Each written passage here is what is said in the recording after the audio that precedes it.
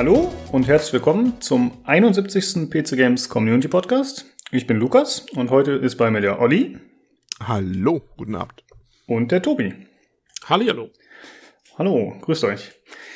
Äh, wir haben heute als Themen, ist relativ kurz und knackig, sage ich mal, mal gucken, ob es klappt. Äh, wir haben ein bisschen was zu Microsoft und PlayStation und deren neuer Kooperation.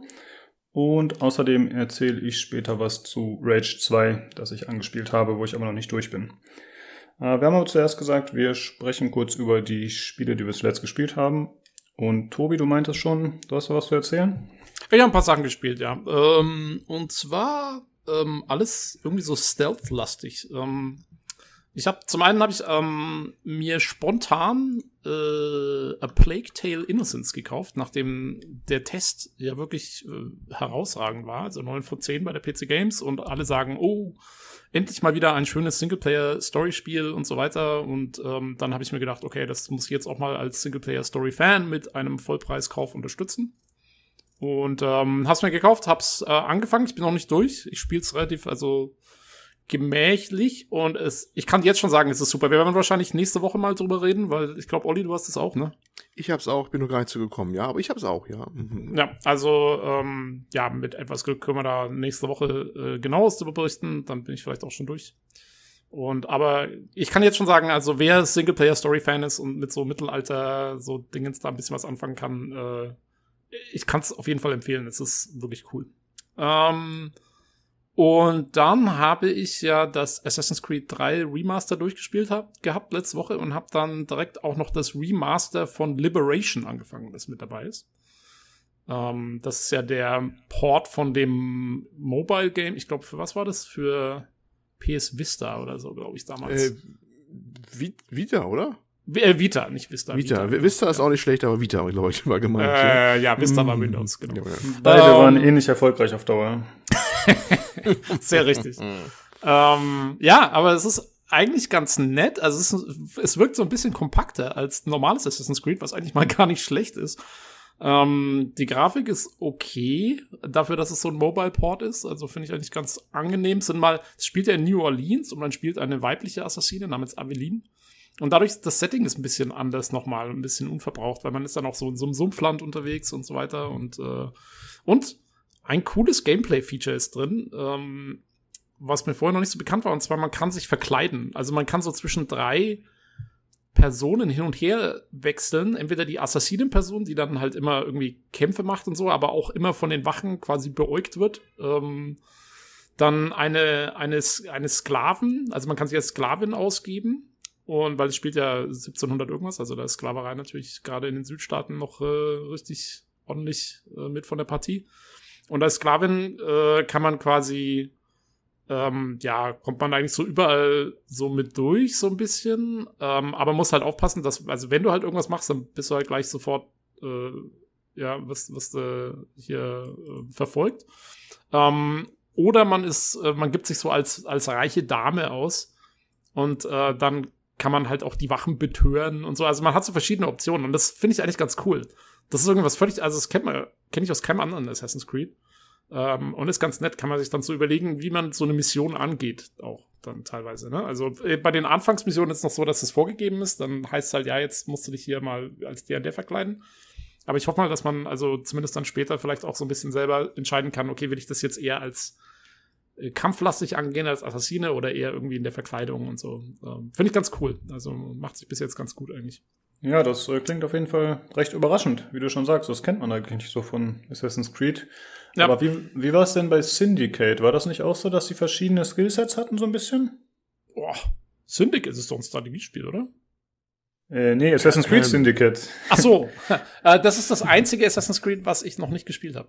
Weil ich glaube, um, da ähm. war sie eher auf Schleichen und er auf Kämpfen oder so in der Richtung. Ich, ich, glaube auch, ja, genau. Da, da konnte man sich entscheiden, ob man die Mission mit, mit ihr oder mit ihm spielt. Genau, und sie war eher auf Schleichen ausgelegt und er eher auf Kämpfen. Ja, kann okay. ich auch noch dann.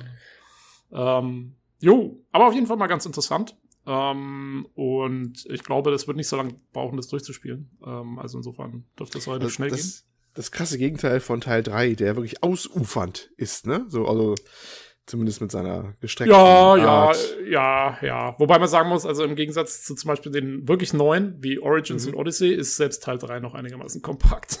also halt, die werden schon, die werden einfach immer größer und größer und größer. Die, Du machst mir Angst, wo ich doch auch Ja. nachholen will. Ja, Also ich viel- bin viel- jetzt langsam so bei Teil 3, so glaube ich, dass ich äh, glaube, mich auch dem Ende nähere. Ich habe ja, gesagt, das, äh, äh, das Original noch, ne? Nicht das Remastered, ne? Und Ja. ja, Mhm. macht das irgendwie auch noch so. Das, du hast ja, glaub, die letzte Folge, genau, die letzte Folge wollte ich noch einen Kommentar lassen zu eurer letzten Folge, die ihr ohne mich gemacht habt, ne? Weil ich ja nicht Mhm. konnte.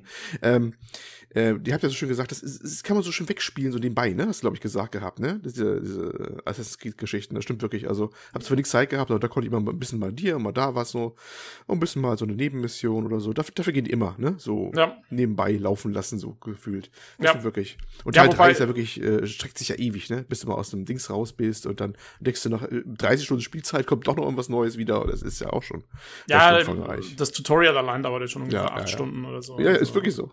Ja. Ähm, ja, ich habe, ich muss eigentlich sagen, also ich habe mich jetzt beim beim zweiten Durchgang sozusagen, weil ich habe das ja schon mal durchgespielt, als es rauskam, die Originalversion und jetzt halt noch mal das Remaster, äh, habe ich mich jetzt schon eher an den Hauptplot gehalten, habe nicht jeden Nebenscheiß Mhm. mitgemacht. Also ähm, ich habe die die Schiffsmissionen habe ich wieder alle gemacht, weil die sind echt ganz Mhm. nett. Ähm, Die also sind ganz cool, ja. Die sind, ja, ich meine, deswegen haben sie ja dann mit Black Flag weitergemacht, Ja. weil die kamen ja auch wirklich am besten an.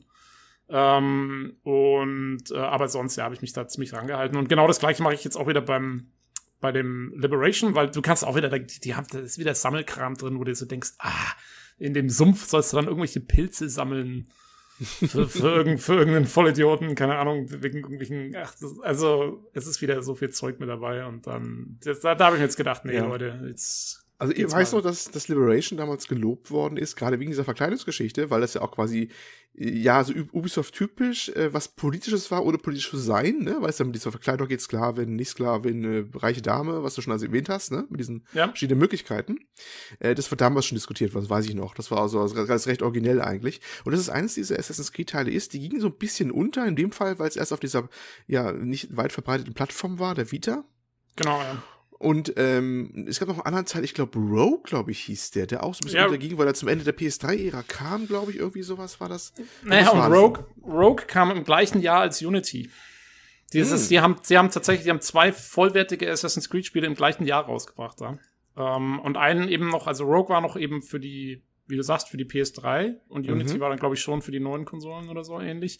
Ähm, weil äh, Rogue ist ja quasi, es ist im Prinzip Black Flag. Exakt Mhm. nochmal, nur halt mit einem anderen Setting und einem, einem anderen. Ist aber auch ganz nett. Also ich habe äh, ich hab sogar Rogue auch gespielt. Ähm, und, äh, und das Schöne an Rogue ist, ähm, das Ende von Rogue ist genau der Anfang von Unity. Also das, das Mm. überschneidet sich, also du bist im selben Ding unterwegs und das überschneidet sich perfekt. Also äh, das ist wirklich ganz cool. Ähm, Okay, weiß ich Bescheid, wenn ich da mal weiterkommen Ja. sollte. Ja. Ja, okay. Mhm. Jo, also das war ganz cool. Und ähm, eine letzte Sache habe ich noch äh, gemacht. Und zwar, weil ich schaue im Moment gerade die Serie 24 ähm, so stückchenweise durch. Und da hatte ich dann, ich, bei mir ist es immer so, wenn ich irgendwas im Fernsehen anschaue, dann, dann will ich eigentlich immer was dazu passendes irgendwie spielen. Das ist bei mir immer so eine Synthese. Und deswegen habe ich äh, nochmal angefangen, die äh, Splinter Cell-Reihe durchzuspielen, weil Oh, äh, das okay. thematisch natürlich sehr gut passt. Ähm, und habe angefangen mit Splinter Cell 1. Und boah, ist das schwierig. also, wenn du so heutige Stealth-Games gewohnt bist, wo du halt sowas wie Assassin's Creed, wo du halt irgendwie ja, da die Leute abmeuchelst und irgendwie da auch relativ schnell durch die Gegend dich bewegen kannst, das kannst du bei Splinter Cell echt mal vergessen. Wenn du da ein bisschen zu schnell läufst, dann sofort drehen sich alle um und oh, was war das? Zack, zack, sehen dich und du wirst erschossen. Also äh, richtig krass. Du kannst ja äh, bei Splinter Cell bewegst du dich ja, äh, änderst du deine Geschwindigkeit per Mausrad. Also du Hm. kannst wirklich sehr dynamisch deine Geschwindigkeit anpassen und das musst du auch machen. Und ähm, ja, ganz schön hart. Grafisch ist es natürlich übel, weil es ist halt Unreal Engine 1, glaube ich, sogar noch oder so. Also es ist halt so von den frühen 2000ern. Äh, es ist ganz nett, weil dieses Zukunftsszenario dort spielt 2004. Also, ne? Und äh, alle haben irgendwelche kleinen Club-Handys und fühlen sich damit sau cool. Und du fragst dich nur, wo sind, wo sind die Motor- Smartphones? Ja, Motorola Razer, sage ich. Ja, mal. genau. genau. Ich glaube, es ist sogar im, im zweiten Teil, den ich jetzt gerade angefangen habe, Pandora Tomorrow. Ähm, da ist ähm, noch ein Sony Ericsson, ist, ist, die, ist Mhm. groß promoted. Das sieht man so in Nahaufnahme dann so voll verpixelt, weil es halt die Grafik nicht gut genug ist. Aber ja, nee, ist ganz nett und ähm, weil ich habe die Reihe bis jetzt, ähm, ich habe alle Teile gespielt, bis auf Blacklist, den neuesten. Da kam ich nie dazu, weil ich äh, in der Mitte von Conviction, dem vorherigen, äh, hat es mich irgendwie mal verloren gehabt oder es war irgendwas. Auf jeden Fall habe ich das nie durchgespielt und wollte dann auch nicht mit dem nächsten anfangen. Und jetzt äh, habe ich mir mal vorgenommen, doch die Reihe durchzuspielen und ähm, bis Black Flag dann wirklich mal alle mitzumachen. Ja, das war so, also ziemlich viel hin und her gespringen die Woche. Ähm, aber ganz nett. Ja, okay. Äh, ja, wegen Plague Tale habe ich schon im Forum gesehen, dass ein paar Leute geschrieben haben, dass sie das so ähnlich wie du sehen als Ersteindruck. Vielleicht finden wir ja wen aus dem Forum, der noch bei der Folge mitmachen will nächste Woche, falls wir das dann als Hauptthema reinpacken. Jo, also ich wäre auf jeden Fall dafür, dass wir es nächste Woche als Hauptthema reinpacken. Es ist wirklich äh, cooles Spiel. Es ist so ein richtiger schöner Indie-Hit. Ähm, und ja, ich würde gerne was drüber erzählen nächste Woche. Ja, also, cool. Äh, Olli, du bist noch nicht dazu gekommen, meinst du, ne? Weil du hast es dir ja auch geholt. Nö, ich habe, wie gesagt, die Woche immer nur, wenn ich was spielen konnte, dann nur kurz Zeit gehabt und da wollte nichts Neues anfangen, weißt du? Das, ist, Mhm. das möchte ich schon ein bisschen Zeit für haben, dass ich mich da voll widmen kann, so ein bisschen. Ja. Ja, das ist, glaube ich, auch bei dem Plague Tale gar nicht schlecht. Also ich, ich würde es jetzt auch, man muss sich schon ein bisschen drauf einlassen. Mhm. Ähm, auf die ganze Story und, und die Charaktere und so. Jo, ansonsten hast du auch nichts gespielt, Olli, ne? Oder nichts Erwähnenswertes zumindest. Nö, nichts erwähnenswertes. Okay. Äh, bei mir ist eigentlich auch wie immer. Ich habe ein bisschen Hot Lava mal wieder gespielt, falls sich da noch wer dran erinnert. Äh, das war dieses Spiel, wo man nicht den Boden berühren darf und so parkourmäßig durch die Gegend springt. Das hat Spaß Ah, gemacht. das wollte ich mir immer mal zulegen, eigentlich, aber ja. Ich sag's immer wieder, Steam Family Share. ja, ich habe das ein bisschen für Kumpels gestreamt und äh, wir haben was, äh, mittlerweile haben wir eigentlich auch Spaß dran gefunden, mit Discord zu streamen. Das ist tatsächlich ziemlich cool.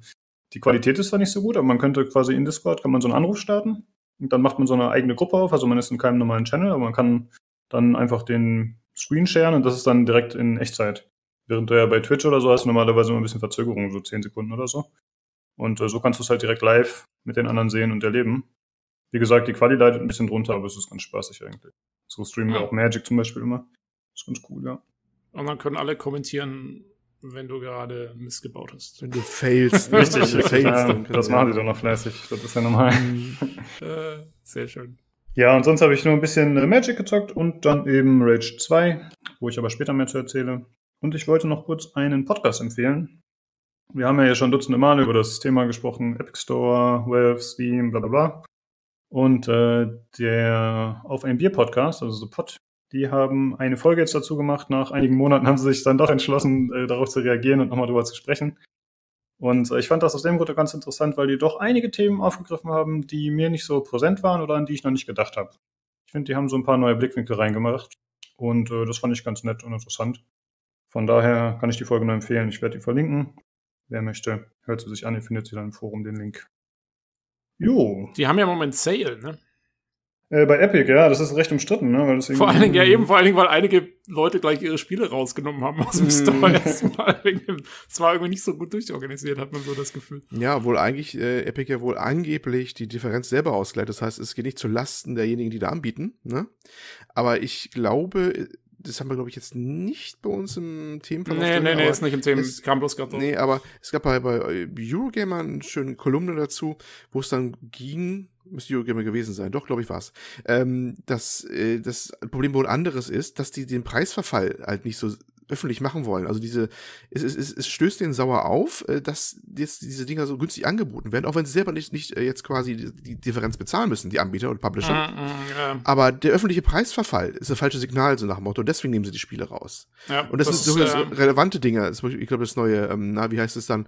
Äh, Bloodlines? Bloodlines, Äh, Bloodlines zum Beispiel ist, ist versch- ist verschwunden jetzt, glaube ich, ne? Vorübergehend. Ich habe nicht nachgeguckt, aber es soll wohl raus gewesen sein zumindest. Ich weiß nicht, ob es noch draußen ist. Naja, das Problem Vision ist, 2, dass, glaube ich, auch. Das Problem ist, dass Epic ähm, quasi gesagt hat, alle Spiele, die, glaube ich, mehr als 14,99 Dollar oder so kosten, kriegt ihr von uns 10 Dollar billiger.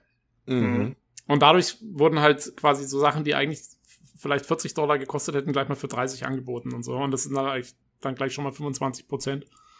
Ähm, klar, ja, es ist. Und wir hatten es jetzt erst äh, mit der ganzen Geschichte, dass Ubisoft ihre Keys jetzt irgendwie anders verwalten will, ne, um, um diese Mhm. ganzen Keyseller zu unter, unterbinden und so. Also ja, ich kann mir das schon vorstellen, dass da die, äh, äh, die Publisher schon Wert drauf legen. Äh, weil, klar, äh, wenn du wenn du guckst, oh, das gab's jetzt schon mal für 30, dann warte ich halt wieder auf den nächsten Sale. Ne? So geht's mir ja auch. Also, Ja, klar, machen doch alle so. Aber das ist Ja. natürlich auch, ist ein bisschen, ein bisschen jetzt wieder so was Doppelmoral, aber erst gehen alle Publisher gerne hin zu, zu Epic, ne, weil, ne, klar, das Dorf vorne ist noch nicht so überfüllt, man ist da noch, war noch relativ unter sich, äh, und dann waren bessere Bedingungen mit dem Anteil, was Epic halt einzieht, im Gegensatz zu über, vom, von, von, äh, Valve halt, ne. Und jetzt machen die ihre Aktion da. Oh, da ist die Liebe aber ganz schnell erkaltet, dann schlagartig wieder, ne?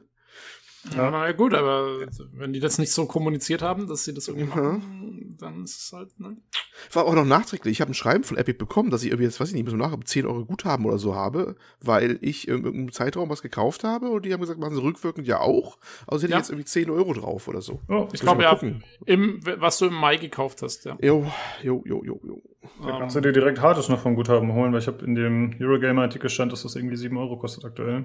Ja, ja, genau. Kannst du das noch mitnehmen? Müsste, müsste locker drin sein, jetzt wenn ich Du kannst ja sogar fast, ähm, du wolltest doch auch, glaube ich, äh, eventuell äh, The Observer dir Ja. holen, oder? Weil das, das kostet jetzt auch aufgrund von dieser Geschichte mit diesen 10 Dollar, kostet es im Moment nur 12,99 oder sowas. So.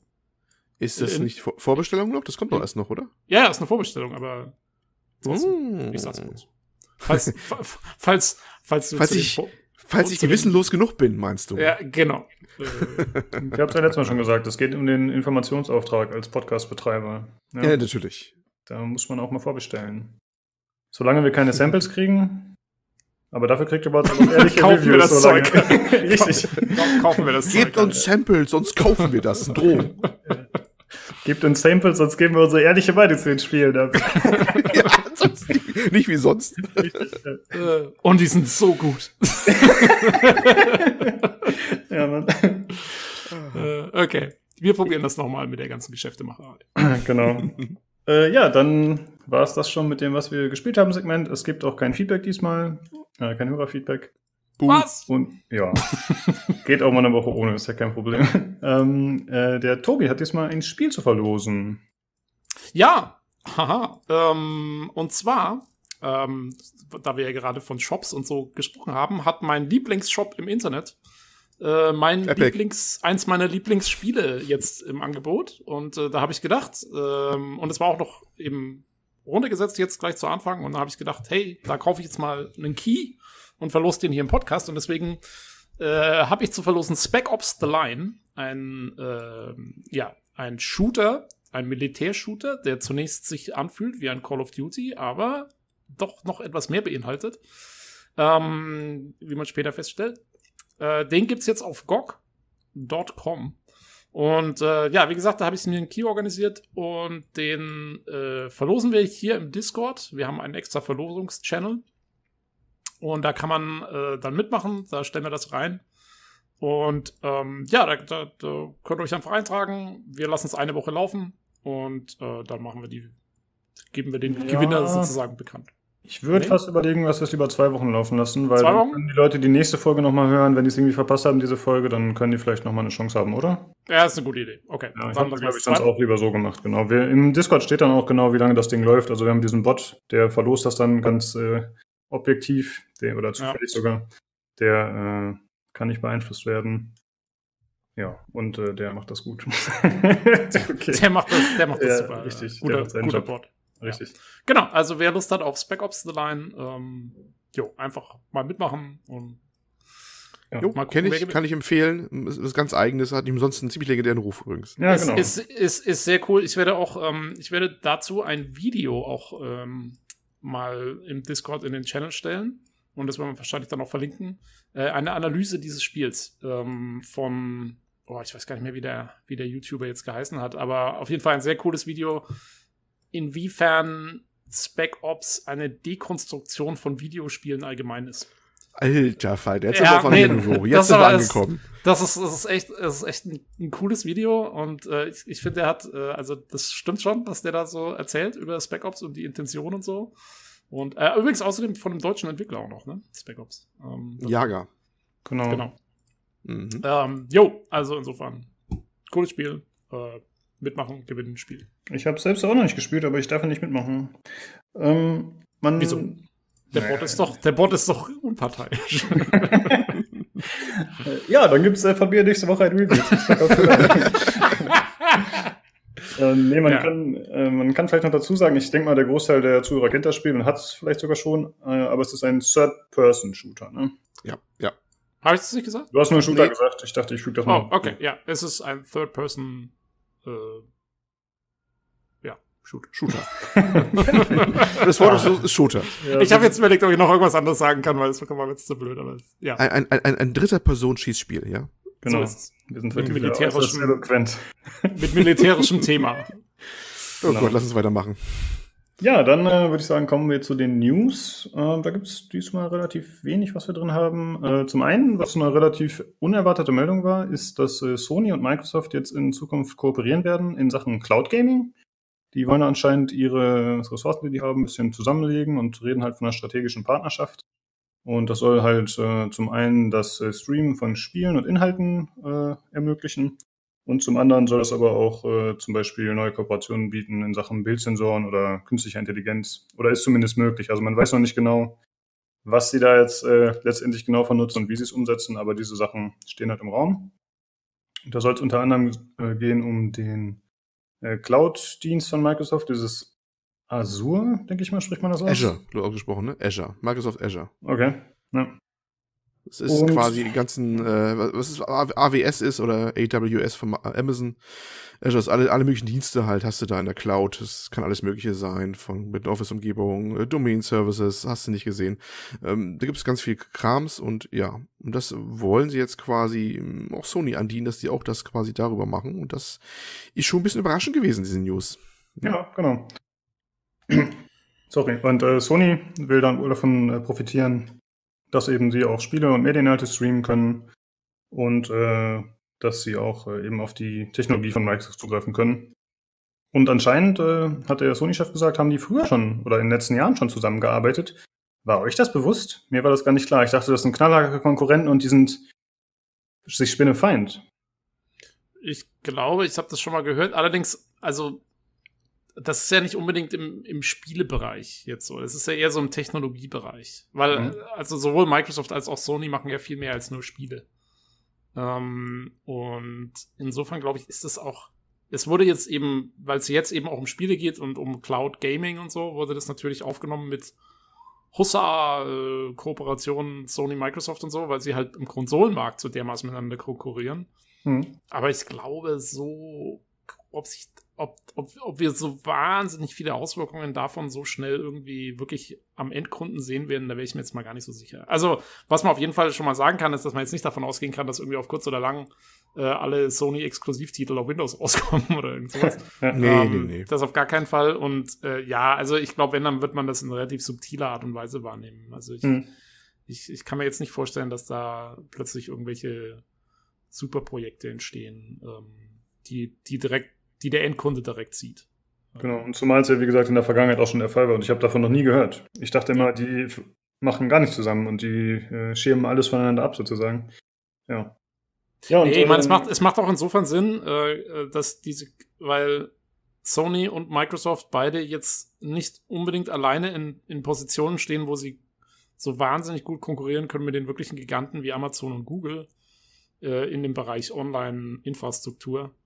Und sich da zusammenzuschließen, ist sicherlich, sagen wir mal, strategisch nicht ganz schlecht, wenn man über mittelfristig da am Leben bleiben will, so ungefähr, und sich nicht von denen abhängig machen will. Vielleicht, vielleicht ist das auch so ein bisschen der Hintergrund, könnte ich mir vorstellen. Ja, genau. Darauf wollte ich auch noch hinaus. Ich denke auch, dass das äh, eine Rolle spielt. Da eben durch die Ankündigung von Stadia zum Beispiel. Und einfach dadurch, dass die halt äh, auch in den Markt vorstoßen wollen mit Google und Amazon.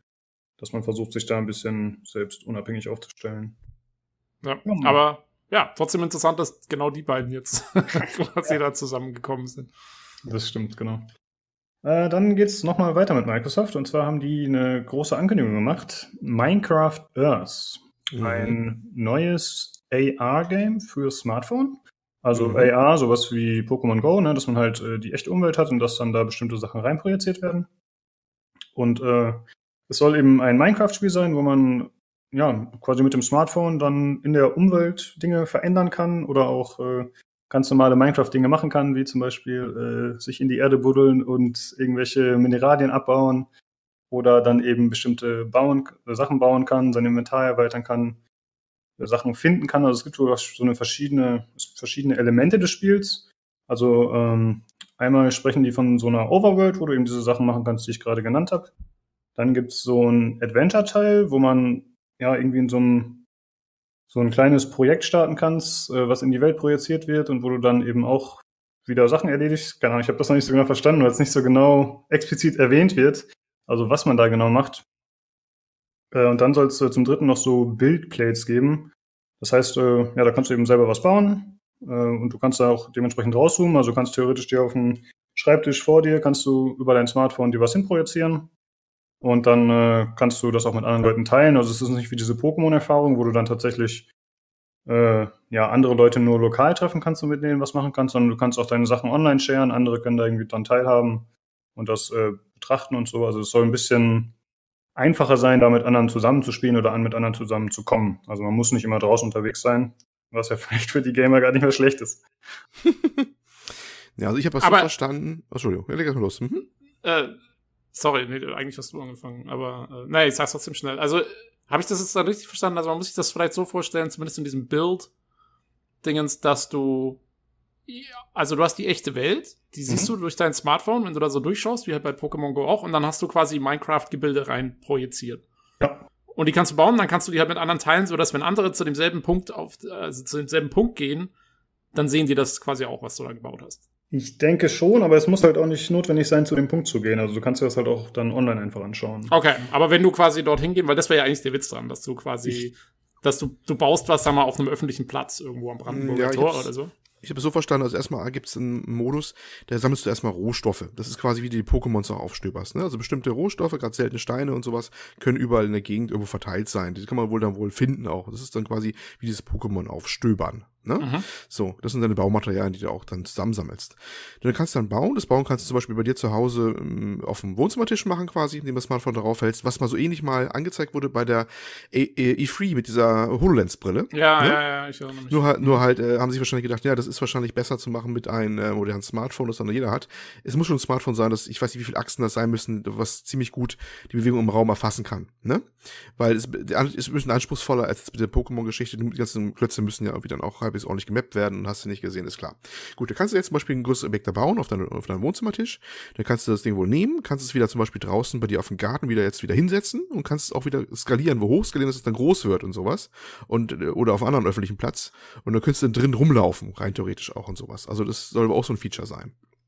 So habe ja, ich das okay. verstanden, wie es abläuft. Da muss ja, da müsste dann ja relativ hart administriert werden, ne? Weil das ist ja nicht ungewöhnlich, dass äh, ich wollte gerade, ich wollte gerade sagen, wie sieht die Welt mich, wohl aus? Wie viele Penisse in den Central Park passen? ähm, du wirst live davon berichten, ne? Ich, ich werde, ich werde, ja, also. Ähm, ja, das ja. könnte ein bisschen strange werden. Äh, ja, da muss halt tatsächlich dann wahrscheinlich alles abgesegnet werden oder so. Oder man ist darauf angewiesen, dass Leute das melden und dass man es dann wieder löscht. Aber ich glaube, das können die sich nicht erlauben. Ich glaube, die müssen dann wirklich irgendwie da das administrieren. Ansonsten könnte das tatsächlich ein Problem werden. Oder die brauchen so eine Technologie, die direkt erkennt, wenn ein Fallossymbol gebaut wird. Genau, genau das gleiche habe ich mir auch gerade gedacht. Intelligenz. Künstliche Intelligenz zum Erkennen von Penissen. Ja. Oh Mann, ey. Also wenn die das brauchen, ich gehe und arbeite für Microsoft und entwickle das. Das, das Weil du den ganzen Tag ja, äh, einfach nur, einfach, einfach nur, einfach nur, damit, wenn mich mal irgendjemand fragt, und was ist dein Job? Dann kann ich antworten. Lebenslauf. Ich habe hab 20 Jahre lang war ich derjenige. Ich entwickle eine künstliche Intelligenz, die Penisse erkennt. um. ich habe jetzt so viele Fragen, so viele Antworten, aber ich lasse beides zurück jetzt äh, hier an dieser Stelle.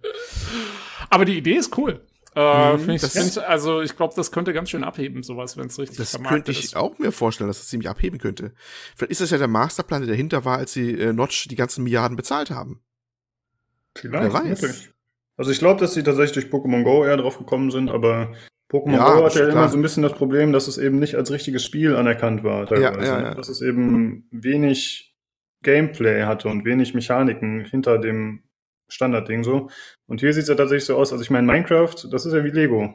Klar, du hast diese ganzen Sammelaspekte und so, aber du kannst eben auch dich einfach kreativ austoben. Und das ist ja eigentlich das, glaube ich, was Minecraft auch bis heute so erfolgreich immer noch macht, obwohl es mhm. so scheiße aussieht, auf Deutsch gesagt das ist halt äh, ja eine, eine gute Voraussetzung. Und dadurch, dass es eben so simplifiziert ist, kannst du es wahrscheinlich auch relativ gut in die Umwelt dann einbinden und so. Das kann ich mir ganz gut vorstellen. Ja. Das es könnte groß werden. Hm, denke ich auch, ja. Und äh, ja, weiter heißt es auf jeden Fall, dass das Ganze ein Free-to-Play-Game wird für Android und iOS. iOS.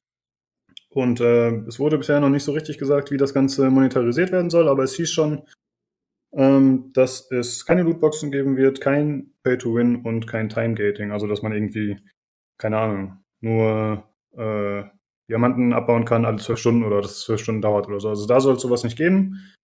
Warten wir mal ab bis zum letzten Ende, ob es wirklich so bleibt, aber es klingt ja schon mal gut. Und äh, weiter heißt es, dass man, äh, äh, ironischerweise kann man das Ganze nicht auf Windows-based Devices nutzen, also auf äh, Windows-Geräten, denn äh, das wird abhängig sein von Apples und Googles Augmented Reality Software. Ja, klar. das ist ganz lustig eigentlich. Ja. Ja, aber es ist eigentlich, das heißt, ähm, seltsam, äh, es, es spricht wieder dafür, was wir in der Vergangenheit auch schon gesagt haben, es geht Microsoft äh, eigentlich immer weniger um die, um die Plattform oder sowas, ne? Sondern um den Dienst als solchen, den sie anbieten. Immer. Mhm. Egal, wo er läuft. Das ist ja so eine Konstante die letzten Jahre jetzt immer zu beobachten ist. Ne? Aber ich finde das trotzdem interessant, weil Microsoft ja ähm, eigentlich schon gerade dieses Augmented Reality sich so ein bisschen auf die Fahne geschrieben hatte, oder? Mhm. Also mit ihrer HoloLens und so weiter und so fort. Und jetzt müssen sie trotzdem zu, zu Apple rennen. Ähm, ja, aber was, was, was, sollen sie, was sollen sie machen? Äh, die, die, die AR-Brille wird immer noch viel zu teuer sein und du packst sie nie, so dass alle die auf die Nase haben. Das war der einzige nein, Weg, war nein, ja, um die Smartphones zu gehen. Ja, es geht mir aber auch nicht darum, dass die Leute jetzt irgendwie die HoloLens dafür brauchen sollten, sondern einfach nur darum, dass man davon ausgehen sollte, dass Microsoft eine gewisse Expertise in AR selber hat in der Zwischenzeit, wenn sie doch versuchen, da das Zeug zu entwickeln. Ja, finde ich wundert mich jetzt schon ein bisschen. Sehe ich auch so. Ja, hm. entwickeln tun sie doch selber. Sie haben doch nur die, die nutzen doch nur die Geräte dafür, die das, das Eck drin haben. Das ist doch logisch, dass sie das dann von denen dann nutzen, weil ja, das ist ja auch, die, du kannst ja auch kein anderes rüberziehen. Das wenn, müssen schon das nehmen, was da in den Geräten halt benutzt wird an ja, Framework. Ist doch schon ein bisschen strange, dass das auf äh, Windows-Geräten dann nicht funktioniert gerade, weißt du? Das finde ich schon genau, eigenartig. Genau, Ja, also, welche Windows-Geräte hast du denn, mit denen du im Garten rumlaufen willst? Ja gut, die Windows Phones wurden ja, glaube ich, eingestellt. Die sind eigentlich weg, die kannst du abhaken, Ah, okay, da haben wir das okay. auch abgehakt. Also die ja weg. So, bleiben äh, höchstens sowas wie ein Surface oder so übrig. Und das sind eher schon, selbst, also ich habe auch ein Surface, das, das sind schon ein bisschen schwere Tablets, die habe ich nicht so unbedingt da draußen rumschleppen Mhm. oder sowas. Das macht man nicht. Und, und das, also eigentlich bleiben de facto doch wirklich nur die leistungsfähigen Smartphones übrig. Und da haben sie nichts mehr, schlicht und ergreifend. So, Ja, ja, das ist das Thema durch. Ja, fair enough. Das äh, hatte ich nicht so auf dem Schirm. Ja gut, dann ergibt es natürlich Sinn. Ja, und äh, zum Schluss heißt es noch in dem Artikel hier, den wir natürlich verlinken, dass äh, die Close Beta äh, in einigen amerikanischen Städten im Sommer starten soll und dann natürlich irgendwann folgen soll in der ganzen Welt, aber da ist nicht. Oh, das startet bestimmt bei uns. Ähm, da Wahrscheinlich. kann ich mal gucken. wenn, das, wenn das bei uns raus ist und wirklich Free-to-Play ist, dann, dann schaue ich mal. Dann Äh, da kannst du quasi von Anfang an erleben. ich, der Central baue Park dann vollgeballert den, wird. aller, ich baue den allerersten Penis in Central Park. Ja, du machst, wenn, wenn du diese, diese, diese äh, ähm, Aufläufe sind, wie damals bei Pokémon zur Hochzeit, ne? Pokémon Go, als die Leute da quasi auf der Straße dann Sch- Stau war, weil die aus Autos gesprungen sind, dann Ja. bist du live dabei, machst du uns eine Live-Schaltung, ja? Oder machst Ja. du eine Aufnahme? So Ja. voll dramatische mit Polizeisirenen im Hintergrund und so und ja. da machen wir einen Videopodcast. Ja, Oh. sehr gut. Die Festnahme von Mr. Fogg. es war, es war kein entsprechender, ähm, ja, im Garten zu finden. Ich habe selber eingebaut und dann ja, da gibt's so eine Headline. Mhm. Mad Scientist by Bill's Giant Penis in Central. Können wir gleich in unserem neuen Discord-Channel äh, äh, Not Safe for Work Links äh, reinschlagen. Ja, genau. Mhm. Ja, dann äh, müssen wir mal gucken. Ich bin auf jeden Fall gespannt. Also, wie wir schon gesagt haben, das wird wahrscheinlich gut abheben. Mal gucken. ähm, dann geht's Abheben. weiter mit einer Meldung zu äh, Ubisoft. Und zwar wurde äh, angekündigt, äh, dass in diesem Fiskaljahr, also bis Ende März 2020, noch drei AAA-Spiele erscheinen sollen, die unangekündigt sind. Also wir hatten ja letzte Woche schon über das neue Ghost Recon gesprochen, äh, Breakpoint. Das ist ja schon angekündigt und zusätzlich sollen noch drei weitere folgen, also drei verschiedene Spiele. Äh, ja, da kann man jetzt so ein bisschen spekulieren. Also es gab äh, Hinweise und äh, Ver ja, Verdacht auf Watch Dogs 3. Mhm. Das halte ich für sehr realistisch, muss ich sagen, weil da hat man schon öfter was gehört und das ist ja eine Marke, die jetzt auch ganz erfolgreich lief. Der zweite Teil wurde ganz gut aufgenommen, trotz seines etwas überdrehten Settings. Und äh, Ja, es wäre eigentlich wurde nur so- logisch, wenn das weitergeführt Wurde wird. der gut aufgenommen? Ernsthaft jetzt mal? Aber ich habe ehrlich gesagt überrascht, dass es einen Teil 3 überhaupt geben soll, weil ich hätte immer gehört gehabt, Teil 2 hat sich überhaupt nicht so gut verkauft und dass eigentlich die Marke. Also ich war echt überrascht, dass überhaupt noch was kommt, ehrlich gesagt. Das war jetzt auch mein Eindruck, dass Teil Ja. 2 wirklich nicht so gut angekommen ist. Oh, ich habe jetzt tatsächlich gerade von äh, äh, Rezensionen und sowas gesprochen. Kann Also finanziell habe ich immer gehört gehabt, es lief angeblich nicht so, also zumindest nicht der Erwartung entsprechend, ne, was immer das heißen mag. Das ist ja auch ein dehnbarer Begriff. Ja. Deswegen äh, hatte ich eigentlich Gedanken, die Marke ehrlich gesagt abgehakt nach zwei Mhm. Teilen. Okay. Ich also ich dachte auch, weil, weil Watch Dogs 1 ähm, ist ja, sagen wir mal, kam noch ganz gut an, aber hat schon total viel äh, einstecken müssen mhm. wegen diesem Trailer damals, der ja irgendwie so ne, viel besser war als das Spiel dann irgendwie. Ähm, und, und außerdem war der Protagonist und so irgendwie ein bisschen komisch, bla bla bla. Und, und dann haben aber alle gesagt, naja, pass auf, das ist Ubisoft, das ist das erste Spiel ihrer neuen Marke, schau dir an, was mit den anderen Marken war, Assassin's Creed und so, die brauchten auch immer alle erst ein Spiel, um reinzukommen. Also warten wir mal auf Watch Dogs 2. Und dann kam Watch Dogs 2 und dann war es zwar vom Gameplay her um einiges besser anscheinend, aber die Charaktere und die Story muss halt wirklich äh, unter aller Sau sein. Ich habe es noch nicht gespielt. Ich habe es mir letztens erst gekauft für 8, ich auch. 8 Dollar ach, oder genau, so. Acht, in irgendeinem, ja, ja, irgendeinem Sale war ganz, bei, bei Uplay für ganz, ganz wenig Geld zu haben. Genau, aber ich habe es noch nicht installiert oder irgendwas. Ähm, und ähm, ja, deswegen kam es nicht so gut an. Allerdings würde ich jetzt nicht so weit gehen wie Uli, der sagt, er hat es schon abgeschrieben. Abgeschrieben hatte ich es nicht, weil ich weiß, dass Ubisoft sich gerne trotzdem an ihre Marken, an ihren Marken so ein bisschen festklammert. Also ich könnte mir schon auch vorstellen, dass ein Watch Dogs 3 noch kommt. So ist es nicht. Ja. Gab es nicht irgendwelche Gerüchte, dass London irgendwie das Setting mhm. sein soll und so? Da war doch irgendwas. Mhm, stimmt, ja. Ich gehe davon aus, dass es noch kommt. Also normalerweise ist, ist es ja heute so, dass wenn eine Marke erstmal aufgebaut wird, dass die Leute schon oder die Entwickler schon versuchen und die Publisher sich daran zu klammern und das Ganze weiter auszubauen, selbst wenn es erstmal ein Misserfolg ist. Denn es ist schon etabliert und ich, ja, ich gehe stark davon aus, dass es das sein wird. Dann hieß es hier in dem Artikel, den wir haben, noch, dass es eventuell Splinter Cell sein könnte. Das wäre cool. Ja, warum nicht, ne? Ist ja eine etablierte ja. Marke auch. Äh, Fände ich, fänd ich schon gut, wenn sie nochmal wieder ein Splinter Cell machen. Ähm, und das dritte, ich meine, Assassin's Creed Ragnarok, falls das, das dann wirklich so heißt und so. Stimmt, ist ja noch nicht ist auch noch nicht, ne? Ist noch nicht angekündigt, ne? Also könnte ja. man da auch noch mit dazu zählen, vielleicht dann, das wenn das Ende des Jahres kommt. Ja, mir wäre auch nichts mehr eingefallen zum dritten. Ja, das wäre auf jeden Fall schon möglich. Das würde Weil, aber heißen, dass das aber 2000, bis 2020 noch rauskommt, ne? Das wäre halt die Frage, ähm, was jetzt damit ist. Ich weiß nicht mehr genau, was sie gesagt haben. War das? Ach stimmt, das sollte jetzt ein Jahr Pause machen oder nicht? Erscheinen. Naja, das sollte 2020 genau. erscheinen. Normalerweise ist ja immer relativ spät, aber es kann natürlich sein, dass es einfach der Zyklus mal ein bisschen gebrochen ist.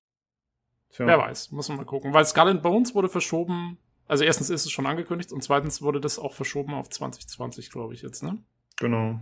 Äh, ich glaube, nicht vor April 2020 hieß es. Ja. Mhm. Genau. Und auch, auch kein E3-Auftritt. Also mal sehen, ob das dabei Verschiebung 2020 bleibt. Das klang eher so, wir müssen da nochmal ran oder nochmal vielleicht ein bisschen anders aufstellen, das ganze Ding. Vielleicht dauert es mhm. ein bisschen länger. das weiß. würde für mich auch Sinn ergeben, weil was Gun and Bones in der E3-Geschichte, die wir letztes Jahr gesehen haben, wirklich gefehlt hat, war hier so Boarding ne, dass man die anderen Schiffe entern kann und so. Das ging ja alles nicht. Und ich finde, das gehört schon bei so einem Piratenspiel mit dazu. Also, ja, das stimmt. Ähm, da würde mich nicht wundern, wenn sie versuchen, das noch irgendwie mit reinzubasteln. Ja, was hat Ubisoft denn sonst noch so an AAA? Far Cry natürlich, aber ich glaube, das wäre ein bisschen früh. Hm. Ansonsten Steep, äh, das letztes Jahr gratis war oder aktuell vielleicht sogar noch gratis ist im Ubisoft Store. Aber, ja. es, aber das, also bei dem würde ich jetzt nee. wirklich davon ausgehen, dass kein zweiter Teil kommt. Ja, ich auch nicht. Und wenn sie, wenn sie vorhätten, eins anzukündigen, hätten sie Steep nicht jetzt kostenlos gemacht, sondern dann, wenn sie es ankündigen. Wie heißt denn nochmal die Rennspielreihe von Ubisoft? Die haben doch auch so ein Ding. The Project. Crew. Genau, The, The Crew. Crew. Aber da kam erst der zweite Teil raus, oder? Ja, ja. ist schon was her mittlerweile, oder? Ja. The Crew, The Crew 2? Crew 2, was nicht so alt ist, ist auch wieder nicht. Oh. Ja, gut, aber das wäre doch so ein Ding, was man durchaus jährlich machen kann. Also, ich Boah, wann kam das denn? Das war doch jetzt schon ein bisschen länger her. Ich guck grad mal. Ein paar Monate vielleicht oder so. 29. Juni 2018. Also, oh, so lang schon? Echt? Ja. Von daher okay. wird das schon passen eigentlich, wenn ein neues Crew kommt. Wenn das erfolgreich genug war und ich, ja, denke mal schon. Ah, wisst ihr, worauf ich Lust hätte? Hm? Auf ein neues Hawks. Oh, okay. Ja. ja. Ich Aber ich glaube nicht, ich glaube nicht, dass da noch das, kommt. Das Genre ist ziemlich tot, ne? Das ja. ist ja schon das, ein Wunder, dass Ace Combat erschienen ist davon. Ja. Ja, also es würde mich, es würde mich total wundern, wenn es kommt. Aber Lust drauf hätte ich. Ich fand die Hawks-Spiele ganz cool. Mhm. Um, ähm, allerdings habe ich sie nie. Die hatten ja dieses komische. Hat es einer von euch gespielt, Hawks? Nee, leider nicht. Ähm, mhm. Weil die hatten ja dieses komische System, dieses Steuerungssystem, wo du das Flugzeug von der Seite gesehen hast und dann irgendwie so komisch steuern solltest. Und das habe ich nie gecheckt. Ich habe es immer in der Verfolger- oder Cockpit-Perspektive mit Joystick gespielt. Also wie war, eine, war das so eine Art Actioncam sozusagen von der Seite dann? Oder wie muss ich das? Ja, ja, genau. So eine Actioncam, die dann quasi dich und das Flugzeug, was du gerade verfolgt hast, irgendwie mit eingefangen hat. Dann, aber ich habe das. Ich konnte da meine Steuerung nicht umsetzen auf das, was am Bildschirm passiert. Das war sowas von verwirrend. Hm. Ähm, und deswegen habe ich es immer in der, in der normalen Perspektive gespielt. Aber da war es cool. Also es war halt so eine total arkadige Flugsimulation, was ich sehr lustig fand. Ja, ja, das war ja so mit modernen Kampfjets, die wahrscheinlich sich auf Dutzende Kilometer abschießen können, aber die dann irgendwie in Dogfights gegangen sind. Genau, genau, ja, genau. Und halt mit so einer richtig schönen, assigen Tom Clancy-Story. ja. ja. vielleicht ein Hawks VR. Wobei, bisher hat Ubisoft mm. noch kein VR gemacht, ne? Und ob man ähm, VR als AAA bezeichnen darf, ist dann auch die Frage. Ja, Ubisoft hat nur, Ubisoft hat nur so ganz eigene VR-Spiele, so Eagle Flight und sowas, aber das kennt sonst kein Mensch. Kennt war nicht dieses, was war Star Trek, war das nicht auch von Ubisoft? Dieses, das, äh, ja, tatsächlich, ja, Bridge Crew. Ja. Ah, Bridge Crew. Ist äh, von Ubisoft.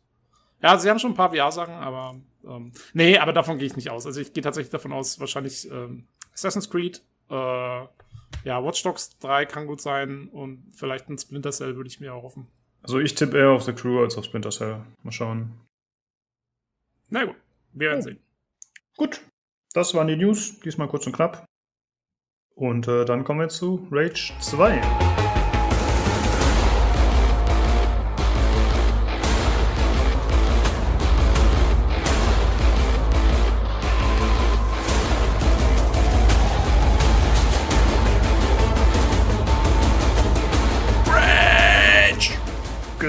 ja.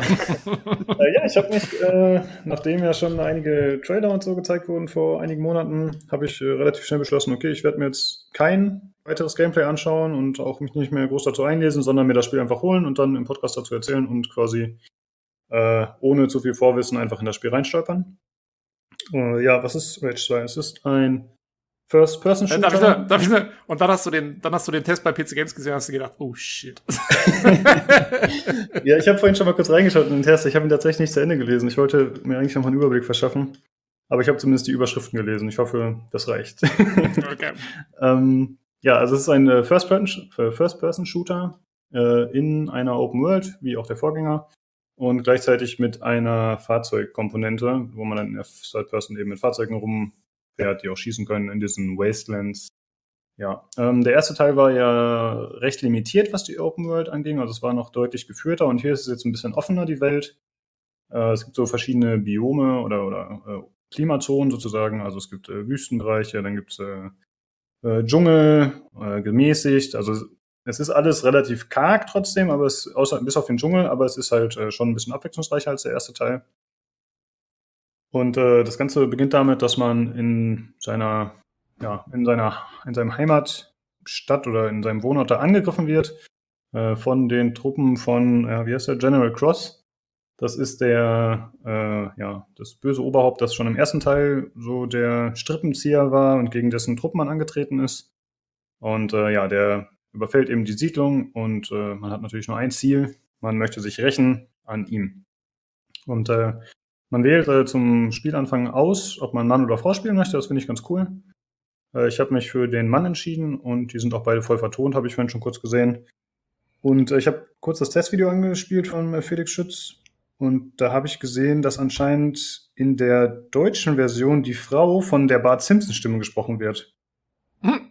Also ich denke, es war die Frau. da war ich jetzt nicht so ganz sicher, weil er das nicht explizit gesagt hat in dem Video, wen er gewählt hatte. Aber Bart wird ja von der Frau gesprochen. Äh, ja, also das fand ich schon sehr strange. Ich finde das immer sehr befremdlich, wenn man so Stimmen hört, die man äh, irgendwoher kennt, weil sie eben so bekannt sind, aber dann die dann irgendwo anders zusortiert werden. Aber die klangen dann da auch so wie Bart? Ziemlich, ja. Du musst dir mal das äh, testen. okay, krass.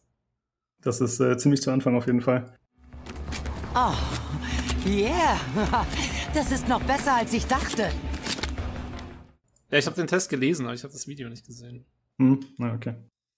Äh, übrigens ein recht langes Testvideo wieder, 15 Minuten oder so. Finde ich ganz cool. Das war ja bei mhm. dem ähm, Red Dead Redemption 2 Video auch schon, dass sie da relativ viel Zeit reingesteckt haben. Finde ich ganz nett eigentlich. Ja, ja, sie machen es ja eigentlich, ich glaube, sie machen es in der Zwischenzeit oft so, dass sie tatsächlich den Testtext eigentlich in Videoform nochmal einlesen, so ungefähr. Mhm, also ich genau. zumindest bei, wo waren das? Bei irgendeinem war es letztens so, dass mir das direkt aufgefallen ist. Ja, finde ich aber ganz schön, weil, also ich brauche jetzt nicht unbedingt 15 Minuten, aber in der Vergangenheit war es oft so, dass sie echt nur so 4 Minuten Videos und so hatten teilweise.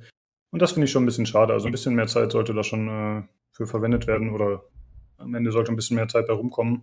Deswegen fand ich es ganz cool eigentlich. Ja, ja. ja gut, äh, zurück zum Spiel. Hm, das Ganze äh, hat direkt vom Anfang an so einen thrashigen Einschlag. Äh, ich finde es schwierig zu erkennen, ob das gewollt ist jedes Mal oder ob das äh, ungewollt ist. Also es ist auf jeden Fall schon eher auf Humor gemacht und äh, so ein bisschen abgefahren mit diesen, ja, mit so schrägen Charakteren, die ziemlich schrill sind und äh, eben auch den äh, Story-Elementen, die da eingebunden sind. Das war im Vorgänger auch schon so. Aber ich habe das Gefühl, dass es hier nochmal verstärkt wurde. Was natürlich daran liegen kann, dass Avalanche da jetzt mehr mit reinspielt, die ja generell dafür bekannt sind, dass sie vor allem mit der Just Cause-Reihe einfach äh, ein Actionfeuerwerk und dementsprechend auch das Drumherum ein bisschen abgedrehter gestalten. Ja. Vielleicht äh, war das der Grund dafür. Ähm, ja, der Vorgänger, der Vorgänger war zwar auch schon so ein bisschen so, aber er hat zumindest, ich habe nur mal den Anfang gespielt, ich habe es relativ schnell, hat es mich dann verloren, aber zumindest wie das angefangen hat, war es ja doch hat es irgendwie versucht, sich schon noch so ein bisschen ernst zu nehmen am Anfang. Ne? Also du, genau. du, bist ja da irgendwie so ein Soldat gewesen, der in so einer Eiche aufwacht und so. Und das war alles noch so ein bisschen so mit Hightech und bla bla bla. Ähm, und dann kamen halt so ein bisschen komische Figuren dazu in, diese, in dieser postapokalyptischen Welt. Aber so ganz abgedreht fand ich den ersten Teil eigentlich nicht. Während hier, also schon allein von dem, was man ja aus den Vorschauvideos kennt, äh, ist es ja richtig krass. Also, das sind ja alle komplett verrückt. ja, also das, äh, ich erzähle jetzt mal eine ganz kurze Stelle vom Anfang, aber das ist äh, wirklich kein essentieller Storyteil. Ähm, da ist so ein, direkt als diese Basis überfallen wird, wo man eben lebt, dann kommt so ein riesiger Mutant an, echt haushoch.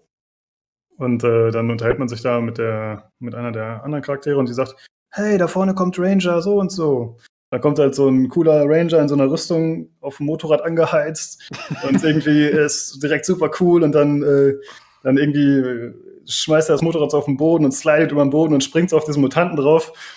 Und alle so, ja, yeah, da kommt der. Und der Mutant beißt ihm einfach den Kopf ab und schmeißt ihn so auf den Boden. und dann äh, schnappt man selber sich direkt die Uniform und dann irgendwie, hey, was machst du da? Ja, ich ziehe jetzt äh, die Rüstung hier an, aber das steckt noch ein bisschen von dem Typen drin. Und so. Das ist so, okay, what the hell? Okay. Also es, es ist direkt am Anfang direkt super trashig. Und äh, diese Uniform, die man dann anzieht, oder diese Rüstung, die begründet dann auch einen Großteil der Fertigkeiten, die man im Spiel kennt und äh, bekommt und auch einige Mechaniken. Aber da gehe ich äh, später noch ein bisschen drauf ein. Äh, ja, und das ist auch so in dem Spiel, wenn man sich, äh, wenn man sich zum Beispiel äh, die NPCs anschaut, vor allem in der allerersten Stadt, ist mir das sehr negativ aufgefallen.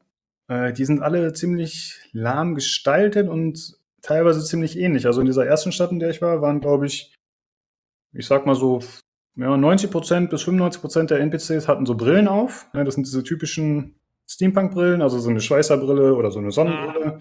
Oder so ein Weiser, der quasi die Augen mit so einem ja, wie von Star Trek der Typ, ich weiß gar nicht, wie der heißt, aber halt so eine. Jordi LaForge. Genau. Wie immer bist du absolut souverän, was Star Wars und Star Trek angeht. Der Burn er, hat, er hat Star Trek gesagt und Star Trek gemeint. Genau. Ich weiß, das ist ein dass es ihn gibt. Ja. Und äh, da war tatsächlich in dieser Stadt, das waren, glaube ich, die einzigen drei Brillen, die da waren, ja. Bei allen NPCs und die waren halt nur in verschiedenen Farben verteilt. Also es ist wirklich schon richtig billig in der Hinsicht. Und äh, dann gibt's halt ein paar NPCs, mit denen du sprechen kannst und die haben dann auch teilweise mal keine Brille. Ja, das sind halt die, daran erkennst du einen NPC, der irgendwie ein bisschen wertvoll ist, der hat keine Brille auf dem Gesicht. Echt? Und, äh, dann bin ich jetzt still, weil ich habe eine Brille, also auch nichts mehr. ähm, ja, und dann holt man sich halt bei den Leuten da Quests ab. Also es gibt einmal so Main-Questgeber, die eben äh, auch für die Story relevant sind. Also da gibt's äh, Namens- oder nicht namensgebend, aber da gibt's drei große äh, NPCs, die eben einem auch später verschiedene, verschiedene Fähigkeiten und Fertigkeiten zur Verfügung stellen. Und dann gibt's halt noch so kleine Side-Stories. Also dann äh, siehst du da irgendwen in der Stadt an der Wand lehnen, in so einer, in so einer abgerockten Steampunk-Stadt, dann quatscht den an. Und dann sagt er dir, hey, ich habe hier die und die Quest für dich, du musst ihn ansprechen, dann musst du warten, bis er sein, seine voll vertonte Quest an dich weitergibt. Manchmal antwortest du sogar, also der Charakter ist zumindest nicht stumm. Und dann, äh, das ist ganz interessant. Also man kann nicht einfach weggehen und sagen, okay, ich habe die Quest, sondern muss es sich tatsächlich zu, zu Ende anhören, was für mich schon so eine Geduldsprobe war. ich wollte dann eigentlich weitergehen, aber ich musste warten. Ja, ja und du kannst die Dialoge auch nicht abbrechen oder so? Nee, genau. Also das ist halt äh, keine Videosequenz dann in der Regel. Ähm, also so bei diesen Nebencharakteren ist das halt, kannst dich frei in der Welt bewegen weiterhin. Aber wenn du dich eben zu weit von ihm entfernst, von dem NPC, dann sagt er, okay, danke, ciao. Und dann ist die Quest auch nicht angenommen. Boah, ähm, das ist aber ja schon. Also ich meine, ich bin jetzt eh jemand, der sich sowas mal anhört und so. Und wird es jetzt mich persönlich nicht stressen, aber ich glaube, das ist für viele Leute ein echtes Manko. sich durch, hab, durch, alle Dialoge durchhören zu müssen. Ja, ich habe tatsächlich ähm, auch dann später, also das variiert. Es gibt ab und zu auch äh, Dialoge, die dann in Videoform sind, aber hauptsächlich ist es dann auch mit den Hauptcharakteren auch in einfach ganz normal in der Welt. Und äh, ich habe dann bei mir festgestellt, dadurch, dass ich zwar die Freiheit hatte, mich zu bewegen, aber ihm zuhören musste oder zumindest warten musste, bis er fertig war mit Gelaber, dann habe ich angefangen, ein bisschen rumzuhüpfen, habe, keine Ahnung, irgendwelche Items rum aufgehoben, die da in, seiner, äh, in seinem Büro oder wo auch immer rumlagen oder in seiner Zelle, wo auch immer. Ja, und irgendwie habe ich dann oft gar nicht so richtig zugehört. das ist äh, mein altes Problem. Von daher wären, glaube ich, Videosequenzen für mich teilweise besser gewesen. Aber man muss ja. auch sagen, die Story ist äh, zu vernachlässigen. Ja, also ja, eben, gerade deswegen, ja. Also genau. gerade dann würdest du dir sagen wollen, okay, ich interessiere mich eh nicht für den Scheiß, den ihr mir gerade erzählt. Ähm, lass mich einfach nur die Quest annehmen und fertig. Richtig. Also die Story nimmt sich selbst nicht ernst. Sie ist auch nicht gut präsentiert, soweit ich das bisher gesehen habe. Ich bin noch nicht so weit. Ich habe im Testvideo von Felix gesehen, dass man das in fünf bis zehn Stunden durchspielen kann. Äh, ach so, ja, ich habe den Bethesda Launcher genutzt.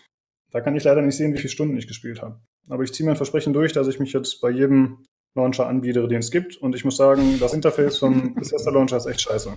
Also ich okay. kann keinen empfehlen. Ja, ist wirklich schrecklich. Ich habe den nochmal runtergeladen fürs, fürs Creation Set von mhm. TES. Aber. Ey, man kann doch nicht mal Screenshots machen im Spiel. Das ist doch traurig.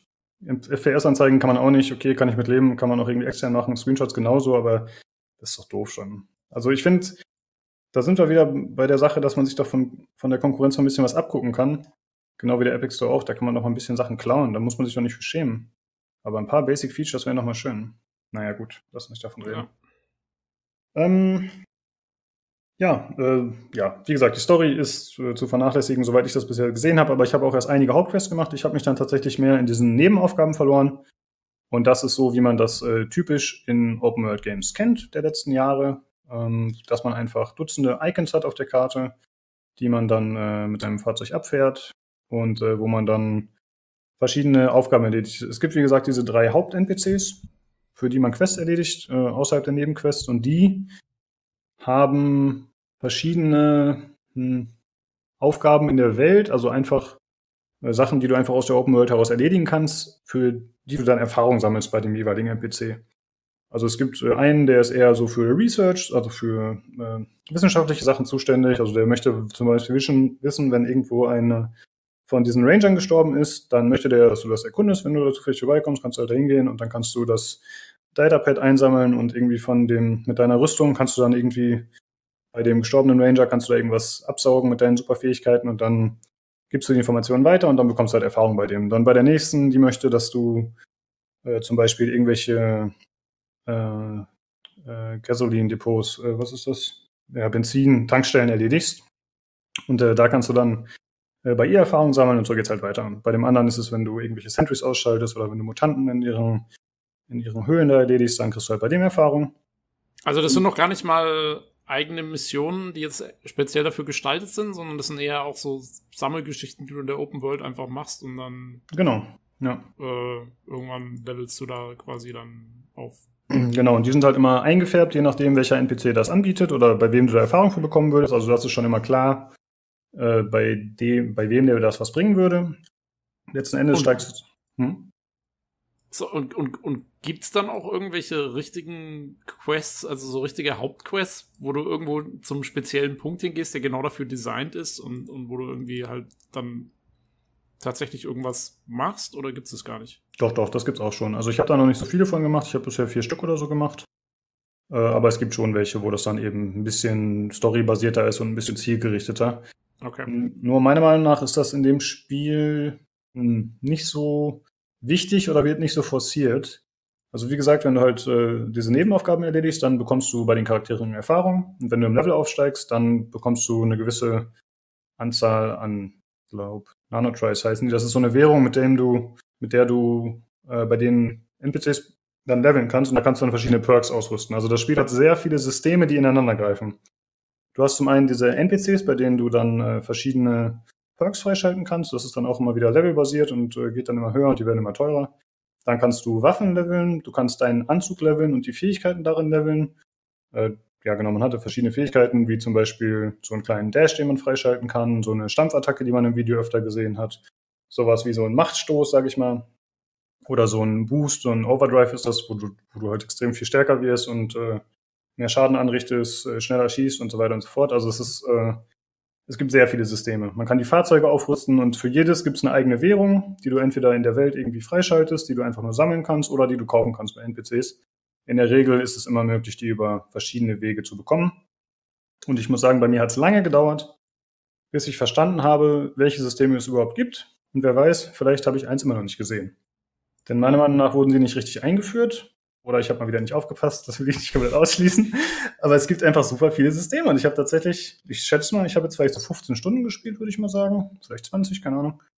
Und ich habe dann tatsächlich äh, auf einmal entdeckt, dass ich meinen Anzug leveln kann und die verschiedenen Fähigkeiten, die ich da drin habe. War mir vorher nicht klar. Und ich habe auch zum Beispiel erst überhaupt nicht gecheckt, wie ich meine Waffen aufleveln kann, weil es einfach eine beschissene Steuerung ist. Weil es eine dumme Konsolensteuerung ist. Aber da komme ich später okay. ein bisschen zu. Ist da kann ich später ein bisschen ranten. Hm? Ist das in irgendwelchen Menüs versteckt oder was dann alles so? Genau, also dieses ganze Leveln und auch äh, Crafting, was es auch gibt, das wird alles übers Menü erledigt, genau. Also es gibt äh, in der Welt mit Animation oder so gibt es das nicht. Das Spiel wird pausiert und du erledigst ja deine Sachen. Genau. Aber würdest du jetzt sagen, also dass diese ganzen Mechaniken, die es jetzt gibt, jetzt wo du weißt, welche es gibt, oder sagen wir mal die, von denen du bis jetzt Kenntnis hast, ähm, würdest du sagen, dass die dann wenigstens irgendwie gut ineinander greifen und dass das alles so, dass das zusammenpasst und irgendwie sich wie ein großes Ganzes anfühlt? Oder ist es eher so, äh, wie man das so kennt, irgendwie auch aus manchen Assassin's Creeds und so, dass, dass da so Sachen dabei sind, die so aufgesetzt wirken und dann ähm, ähm, man, hat, man hat selten das Gefühl, dass starke Synergien entstehen. Also ich nenne jetzt mal als Beispiel diese Stampfattacke. Ja, das ist halt, du äh, Du springst halt von einem höher gelegenen Punkt ab, wenn möglich. Also je höher der Fall ist oder je tiefer, desto mehr Schaden machst du. Mhm. Und äh, Gegner werden äh, in der Druckwelle weggestoßen oder direkt getötet, je nachdem. Und dann hast du halt die Möglichkeit, das aufzuleveln, so dass es mehr Schaden macht. Dann hast du die Möglichkeit, das zu leveln, dass der Cooldown kürzer ist und zum Beispiel, dass die Gegner, das ist dann so eine Blackhole-Sache, dass sie halt zusammengezogen werden in der Mitte, bevor du aufschlägst. Und das ist zwar alles cool, aber das ist auch alles nur innerhalb dieses einen Baums sozusagen für diesen Slam. Und ähm, natürlich könnte man jetzt sagen, okay, das geht auch damit, wenn ich dann in der Luft noch eine Granate werfe oder so. Ja, okay, das geht schon, aber es ist jetzt, es fühlt sich nie so an, als dass es designtechnisch genauso ausgerichtet wäre, dass es dann mit anderen Fähigkeiten besser ineinander greift. Und also dann keine guten Kombos oder irgend sowas. Genau, also du, nee, habe ich nicht das Gefühl. Ja, ja. Vielleicht kann man das irgendwie ein bisschen besser spielen, aber insgesamt habe ich schon das Gefühl, dass zwar das Spielgefühl ist toll, ja, die verschiedenen Fähigkeiten eben und die Kämpfe, also das, das ist für mich das Kernstück tatsächlich, diese First-Person-Kämpfe, die spielen sich cool und man fühlt sich badass. Das macht Spaß. Aber es ist nicht so, dass ich sage, ja, wenn ich jetzt hier verschiedene Fähigkeiten und Waffenoptionen kombiniere und verschiedene Waffenmods oder so, dass dann auf einmal äh, was super Tolles passiert, was äh, eben eine krasse Kombination ist, die ich mir vorher so nicht hätte vorstellen können oder so. Das ist mir. fehlt so ein bisschen passiert. die Tiefe irgendwie. Kann das sein? So irgendwie mhm. in, in, den Mechaniken? Genau, kann man so sagen. Ähm, es ist so, dass man diese Fähigkeiten und auch die Waffen, die man hat, die muss man ebenfalls größtenteils erst freischalten. Ähm, und da kommen wir ein bisschen zum Pacing und das ist, was ich vorhin auch schon kurz angedeutet hatte. Ähm, eigentlich ist es schlauer, wenn man erst die ganzen Nebenaufgaben erledigt, in denen man die Waffen bekommt und in denen man Fähigkeiten bekommt. Denn theoretisch könnte ich das Spiel anfangen und einfach drauf losspielen und wenn ich nie, also es gibt so Arcs, nennen die sich. Das sind eben so äh, ja, Relikte aus der Vergangenheit, also eben so abgestürzte Kapseln oder sind das, glaube ich, wo du dann zum Beispiel Waffen drin bekommst oder wo du den Doppelsprung bekommst oder diesen Slam. Also das sind verschiedene Fähigkeiten oder auch Waffen, die du nur über diese Arcs freischaltest. Und die kannst du dir entweder, werden die dir auf der Karte schon angezeigt, du kannst sie zufällig finden, oder aber du kaufst von NPCs so Informationen, die dir dann sagen, hey, es gibt da hinten gibt es wahrscheinlich eine Arc oder da gibt es irgendwas, was du mal erkunden solltest. Und äh, dadurch, dass ich theoretisch von einer bestimmten Arc gar nicht weiß oder sie vielleicht nicht erkunde aus irgendeinem Grund, dann fehlen mir essentielle Spielmöglichkeiten. Also dieser Doppelsprung zum Beispiel. Wenn ich den nicht bekomme, das ist schon blöd. Ich meine, man kann das Spiel auch ohne durchspielen, das ist mir schon aufgefallen, dass es immer so designt ist, dass du auf diesen speziellen Sprung jetzt zum Beispiel nicht angewiesen bist. Das geht. Aber ich finde halt gerade bei so einem Spiel, wo das Gameplay so nach vorne gestellt wird und diese coolen Shooter-Mechaniken und diese Bewegungsfreiheit und dieser Flow, der dadurch entsteht, da sollte das eher eingewoben sein in, keine Ahnung, in Spielzeit oder so, dass es nach einer gewissen Weise frei, Weile freigeschaltet wird. Interessant, dass du das erwähnst, weil ich habe im Vorfeld äh, mir von irgendeinem Streamer halt äh, so ein Rage 2 äh, Gameplay angeschaut Und der hat dann irgendwann auch angefangen, erstmal die ganzen Arcs zu machen, nachher mal weg, quasi, ne? Mhm. Ähm, was vielleicht auch nicht seine klügste Entscheidung war, insofern von Dramatik her, weil es war dann schon arg repetitiv, fand ich das, ne? Weil er hat dann eine Arc nach der anderen gemacht. Ähm, weil er auch sagte, ja, ich will erstmal die ganzen Fähigkeiten haben. Und dann diesen Doppelsprung, wo er sich einen tierischen Mhm. Vorteil bekommen hat. Genau. Wo ich mir dachte, hm, ob das jetzt so gut ist, also er musste erstmal sehr repetitiv diese Sachen da durchackern, ne? Äh, bevor du wieder zum interessanten Part irgendwie wieder kommst oder Mhm. so. War zumindest mein Eindruck. Also ich war beim Zuschauen dann, das heißt gelangweilt, aber ich fand es dann nicht mehr so pralle beim Zuschauen. Ja. Der, der Felix hat genau das gleiche geschrieben in seinem Test. Ah, okay. Der, der, der hat auch geschrieben, ja, es ist eigentlich, äh, äh, man, man muss eigentlich sozusagen wissen, was man, was man tut erstmal irgendwie so, dass man diese Arcs erforschen muss. Und dann ist es eigentlich am schlausten, die erstmal alle nacheinander abzu, abzuhaken, so ungefähr. Und äh, das klingt für mich schon mal furchtbar, weil das ist genau das, was ich aus meinem eigenen OCD heraus äh, immer so bei den ganzen Assassin's Creeds und sowas normalerweise mache, ist, dass ich erstmal den ganzen Seitenkram abhake, bevor ich mit der Hauptstory Genau. weitermache. Und ich hasse ich es auch. jedes Mal. Aber macht es Oh. doch, ne? Und, und ja, aber man macht es dann doch irgendwie genau. Aus irgendeinem Grund. ja, Ähm, kenne ich. Und, und, ähm, und wenn man das dann, wenn man direkt noch dazu gezwungen wird, ist es ja eigentlich nochmal krasser. Genau. Also hier Ja, ist es, Assassin's Creed denke ich mir immer, ich kann jetzt halt aufhören, weißt du? Wie so typisch Süchtige so, ne? Ich mache jetzt bei drei, Teil 3, also erstmal alle Almanach-Seiten sammeln, ne? Ach, ich kann jetzt halt aufhören, wenn ich will. Dann mache ich doch Story weiter. Dann mache ich doch erstmal alle. Ja. Aber da ist ja so, du kannst ja nicht aufhören, wenn du es wirklich sinnvoll weiterspielen willst oder zumindest besten, beste Erfahrungen haben willst, sagen Ja. wir so. Und das Gute ist, wie gesagt, dass diese Arcs dann auch gekennzeichnet sind. Also du musst jetzt nicht jedes Fragezeichen abklappern, sondern in der Regel ist relativ schnell klar, wo du hin musst, damit du das bekommst. Zum Beispiel werden dann auch im Inventar, wenn du einen Tab drückst, dann werden dir die Waffen angezeigt und da steht dann, wenn du schon einen Hinweis darauf bekommen hast, dann steht da, äh, das kannst du finden an dem und dem Ort und dann kannst du das auf der Karte raussuchen und da einfach hinreisen. Oder beziehungsweise hinfahren, denn Schnellreisepunkte gibt es nicht besonders viele. Aber es gibt irgendwie einen Hubschrauber, ne? Zum, Ja, genau, es gibt so ein, äh, so ein kleines äh, Fliegding, So ein so ein. Gefährt. Ich, ich weiß nicht genau, wie ich das nennen soll. Das ist so ein Hover, Hoverbike sozusagen. Ähm, ja, und äh, dadurch, dass man, also ich spiele das jetzt aktuell auch so, dass ich sage, okay, ich, ich mache erstmal hauptsächlich diese Arcs und sammle mir die Waffen und die Fähigkeiten zusammen. Aber das ist natürlich dramaturgisch auch nicht besonders schlau. Weil dann hast du natürlich alles, was du freischalten kannst, hast du dann schon relativ früh zum Spiel, aber du hast dann gar keinen Peak mehr, wo du dich noch krass steigern kannst. Du kannst zwar dann die Fähigkeiten und die Waffen noch leveln, aber du kriegst halt nichts mehr dazu, was irgendwie neu Ja. ist. Vielleicht, klar, vielleicht gibt's am Ende noch die BFG oder so versteckt, wo man nicht mit gerechnet Nee. hat, aber die BFG ist ein Vorbestellerbonus. Ich habe doch vorbestellt, was ist da los? ja, keine Ahnung. Ähm, oder, ja, nee, oder irgendwie ein, keine Ahnung, es ist irgendein spezieller Bonus für irgendwelche, oder für irgendwelche, die die Digital Deluxe Version oder Ja, sowas. okay. Also die BFG ist irgendwelchen Leuten vorbehalten. Ja, gut. Ja, äh, auf jeden Fall ist das halt, finde ich, dadurch ein bisschen schlecht eigentlich. Das hätte man ein bisschen schlauer lösen können. Der Vorteil ist natürlich, man hat die maximale Freiheit. Ne? Also, äh, der, wie gesagt, im Video sagte der Felix, fünf bis zehn Stunden kann man es durchspielen. Da hat er mit Sicherheit nicht alle Arcs erledigt. Also, äh, da kann man sich dann schon, auch wenn man eben nicht so lange grinden will, auch deutlich früher schon, kann man das Spiel durchspielen. Aber äh, eine Frage habe ich dazu noch. Ähm, wird es dann, weil normalerweise ist bei solchen Spielen ja das Problem, dass wenn du erstmal dann alle Fähigkeiten hast und alle und das noch und, und hier noch und dann noch ordentlich irgendwelche Waffen gelevelt hast, weil du jetzt schon so viel Nebenkram erledigt hast, dann werden die Spiele gerne zu leicht. Mhm. Ist das auch der Fall? Ähm, ja, kann ich so bestätigen. Also ich hatte erst auf normal angefangen und dann meinte der Julian irgendwann zu mir, ich habe ein Video gesehen, die von GameStar, die meinten, man soll es auf jeden Fall schwer spielen. Und dann habe ich gesagt, ja, okay, dann stelle ich es halt mal um. Und dann fand ich es teilweise schon happig, weil man echt viel Schaden frisst. Aber jetzt mittlerweile bin ich schon an so einem Punkt, dass das eben alles kein Problem mehr ist. Dadurch, dass man auch gewisse Regeneration und mehr Widerstandskraft und so freischalten kann, dann geht es tatsächlich relativ schnell, dass man äh, ja overpowered ist. Und ich könnte jetzt vielleicht sogar schon mittlerweile den Schwierigkeitsgrad wieder hochdrehen.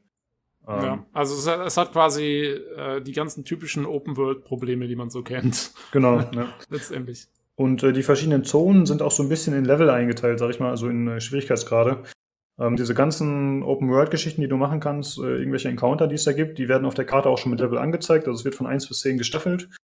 Und jetzt mittlerweile, wenn ich jetzt so ein Level 3-Ding mache, dann ist es halt ein Klacks und eigentlich nicht der Rede wert. Und diese Level 10-Dinger sind noch ein bisschen anspruchsvoll, aber alles von, was weiß ich, Level 5 bis 8 ist kein Problem so. Und äh, ja, dadurch ist das Balancing ein bisschen eigenartig. Mhm. Äh, ja, aber die Kämpfe machen, wie gesagt, Spaß. Ja? Also das ist, so wie es vorher auch schon aussah, ist das eben das Herzstück. Das ändert sehr an Bulletstorm, was ich leider nicht gespielt habe. Aber ich habe jetzt schon festgestellt, okay, vielleicht hätte ich das mal nachträglich spielen sollen, die, äh, diese neue Version. Denn das macht mir sehr viel Spaß. Und äh, es ist auch cool, dass eigentlich jede Waffe hat einen zweiten Feuermodus. Äh, zum Beispiel die Shotgun, die benutze ich ganz gerne, die hat äh, ja einmal einen ganz normalen Schuss und wenn man dann äh, zielt, also mit der äh, rechten Maustaste und dann schießt, dann hat die so eine Druckwelle. Das heißt, du kannst zum Beispiel Gegner über Geländer schießen und wenn es hoch genug ist, dann sterben sie auch direkt und so. Äh, und da gibt es halt bei jeder Waffe eigentlich eine optionale Möglichkeit, äh, wie man da Schaden anrichten kann. Und äh, das macht das Ganze recht spaßig auf jeden Fall. Und dann gibt es noch zusätzlich so Mods, die du eben in die Waffen einbauen kannst. Die sind jetzt zugegebenermaßen nicht so speziell. Also es ist dann halt, äh, du kannst schneller schießen, du hast mehr Munition, du machst mehr Schaden. Also es sind eher so graduelle Veränderungen, die einfach nur an Zahlen drehen. Aber da ist jetzt nicht nochmal eine super krasse Fähigkeit oder so dabei. Äh, ja, dann hat man, wie gesagt, bei diesem Anzug verschiedene Fähigkeiten. Äh, ja, ich glaube, da gehe ich jetzt gar nicht so extrem drauf ein. Ich muss ja nicht direkt alles spoilern. Äh, da gibt's ja, auf jeden aber Fall auf jeden Fall, also ähm, das Gunplay ist, äh, sagen wir mal, It-typisch äh, genau. sehr gut. Ah ja, genau. Und es gibt auch, äh, das muss ich trotzdem noch erwähnen, es gibt äh, Granaten und es gibt auch wieder den äh, Boomerang, den es aus dem Vorgänger gab. Der war ja so, ja, ikonisch nicht, aber das war damals schon so ziemlich cool. Äh, die Leute haben das gefeiert. Das ist dieser Wingstick. Und äh, da gibt es jetzt auch verschiedene Upgrades, dass man zum Beispiel automatisch auf Gegner aufschalten kann dass man den, je nachdem, wie man die Flugkurve bestimmt, indem man die Maus bewegt, kann man auch theoretisch mehrere Gegner erwischen und so. Das ist ganz cool. Also da haben sie sich ein bisschen was einfallen lassen. Und ich muss sagen, die Kämpfe gefallen mir ganz gut. Also es sind hauptsächlich Fernkämpfe, würde ich sagen, also Schusswechsel. Aber es gibt dann auch immer wieder diese Mutantenhöhlen, die ja im ersten Teil so ein bisschen berüchtigt waren, weil man sehr oft in diesem Untergrund unterwegs war. Das ist jetzt deutlich weniger der Fall. Und äh, da hat man dann hauptsächlich Nahkampf-Encounter auf jeden Fall. Äh, Aber sind die, die Fernkämpfe, sind die nicht trotzdem, äh, nachdem was ich so gesehen und, und, und gelesen habe, ähm, sind jetzt trotzdem, dass du relativ nah rangehst eigentlich, oder? Also dass ja, du genau. bist da irgendwie relativ schnell unterwegs und, und ähm, wenn du da irgendwie mit einer Shotgun oder sowas durchgehst, dann klar, es ist ein Schusswechsel, aber es ist trotzdem, ist jetzt nicht so, dass du irgendwie groß am, am Snipern bist in dem Spiel. Genau, so. ja, genau, das ist schon alles äh, sehr nahkampfbasiert. Also es gibt jetzt auch keine Soweit ich das gesehen habe, gibt es auch keine Sniperwaffe oder sowas. Vielleicht ist eine davon, die ich noch nicht freigeschaltet habe, eher ein bisschen auf Fernkampf ausgerichtet, aber generell sind es eher kürzere Distanzen. Und äh, die Bereiche, in denen du kämpfst, sind auch dementsprechend aufgebaut. Also es ist dann oft so, dass du zum Beispiel, wenn du da irgend so einen Punkt äh, frei, äh, frei äh, befreien willst, dann äh, musst du dich über mehrere Etagen zum Beispiel vorkämpfen, durch so eben so Gebilde, die die da zusammengeschraubt haben aus irgendwelchen alten Wellblechen. Und dann ist es oft so, dass du zum Beispiel erst den unteren Bereich machst, dann musst du mit dem Aufzug nach oben fahren, dann geht's da weiter und dann machst du nochmal mit einer Seilbahn, fährst nochmal woanders runter mit so einer Rutsche und hast da nochmal einen Teil. Also es ist tatsächlich oft recht fragmentiert, diese Kampfbereiche, die du hast, so dass oft gar nicht so lange Distanzen entstehen. Und äh, ja, wie du schon gesagt hast, man bewegt sich auch sehr schnell. Also man kann für den Anzug irgendwie so ein Upgrade freischalten, dass man 30% schneller läuft. Dann hat man noch die Möglichkeit, dass man während des Rennens nachladen kann und dann ist man schon sehr fix unterwegs und das macht auch sehr viel Spaß. So. Das äh, ist auch der Grund, warum ich es bisher noch spiele. Also die Story ist mir recht egal, aber das ist ja oft so bei mir, aber die Kämpfe machen einfach Spaß. Und äh, ich werde das auf jeden Fall auch weiter grinden, bis ich da alles freigeschaltet habe. Ja. Da habe ich auf jeden Fall Lust drauf. Äh, ja, dann gibt's, äh, was ich ganz interessant finde, gibt's halt diesen Loot-Aspekt. Hm, ich weiß nicht, wie das im ersten Teil genau gestaltet war, ich erinnere mich nicht mehr genau, aber hier ist es halt so, dass du äh, in jeder Basis oder in jedem Kampfgebiet, das du hast, kannst du verschiedene Items einsammeln, die entweder dazu dienen, dass du äh, dafür irgendwelche Updates bekommen kannst, dass du einfach Geld sammelst oder dass du Rohstoffe sammelst, Ressourcen, mit denen du dann zum Beispiel Heilungs-Items bauen kannst oder äh, denen du irgendwelche Granaten oder so basteln kannst oder diese Wingsticks. Die kann man auch über verschiedene Upgrades, die man bei Händlern kauft, noch verbessern. Diese ähm, ja, Baupläne sozusagen. Und das finde ich ein bisschen komisch. Denn du hast ein Spiel, was auf hohen Speed ausgelegt ist, was auf äh, ja, Fun-Gameplay eben ja, sehr stark ausgelegt ist. Und dann hast du so diese Option, dass du dann danach durch die Basis gehst und jede Ecke dir anschaust, um dann da irgendwas manuell aufzuheben. Also es ist nicht wie bei, äh, wie zum Beispiel bei Doom. Doom 2016, da finde ich den Vergleich recht passend, da das Gameplay und der Flow recht ähnlich ist. Aber du hast jetzt nicht die Möglichkeit, dass du einfach über Sachen drüber läufst und sie aufhebst, sondern du musst wirklich gezielt Sachen angucken, E drücken, aufheben. Okay. Und dann geht's halt weiter. Ja. Und äh, zusätzlich hast du dann in jeder dieser Basen hast du äh, verschiedene Sammelobjekte, die es gibt. Die werden dir auch angezeigt, wenn du dir auf der Karte die Basis anschaust. Ja gut, die Sammel diese Sammelobjekte haben auch einen spielerischen Wert, das schon. Also du hast zum Beispiel so, in jeder Basis hast du eine gewisse Anzahl an Kisten die du aufbrichst und dann ist es da dieses Feld Tri drin, was im Grunde die Währung ist. Und äh, ja, da musst du die halt erstmal finden. Die haben zwar so einen pinken Deckel, aber die sind trotzdem manchmal recht gut versteckt. Also es ist schon extra so gestaltet, dass man ein bisschen suchen muss. Und man hat gleichzeitig, kann man freischalten, dass man so ein Nahfeldradar hat, sag ich mal. Also du kannst halt sehen, wenn du dich einer Kiste näherst, dann wird dir das oben angezeigt über so ein verstärktes Signal. Und dann äh, musst du dir das halt äh, suchen, die Kiste, und dann machst du die auf. Und wenn du alle gemacht hast und wenn du dann auch noch, äh, was gibt's da noch? Äh, es gibt noch äh, so Drohnen, die man zum Beispiel finden kann, die man zerstören kann.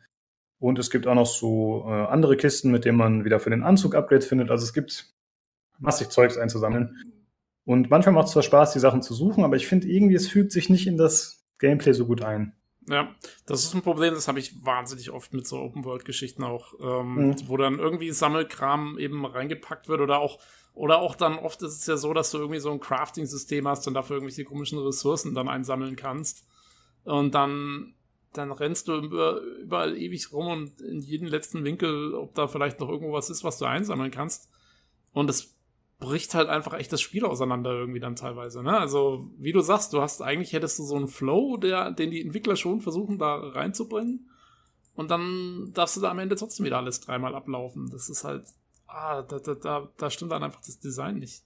Genau. Und da, das klingt so, als wäre das so ziemlich der Worst-Case-Szenario, was du gerade sagst. Weil wenn ich mir so das Doom-Gameplay, was ja vielleicht so ein bisschen ähnlich ist, äh, vorstelle. Das Schlimmste, was ich mir da vorstellen kann, ist, wenn ich danach, nachdem ich dann alle umgebracht habe, nochmal den ganzen Spaß wieder ablaufen darf. Ja, genau, ja. Äh, wo ich vorher so schön durchgeflogen bin, mehr oder weniger.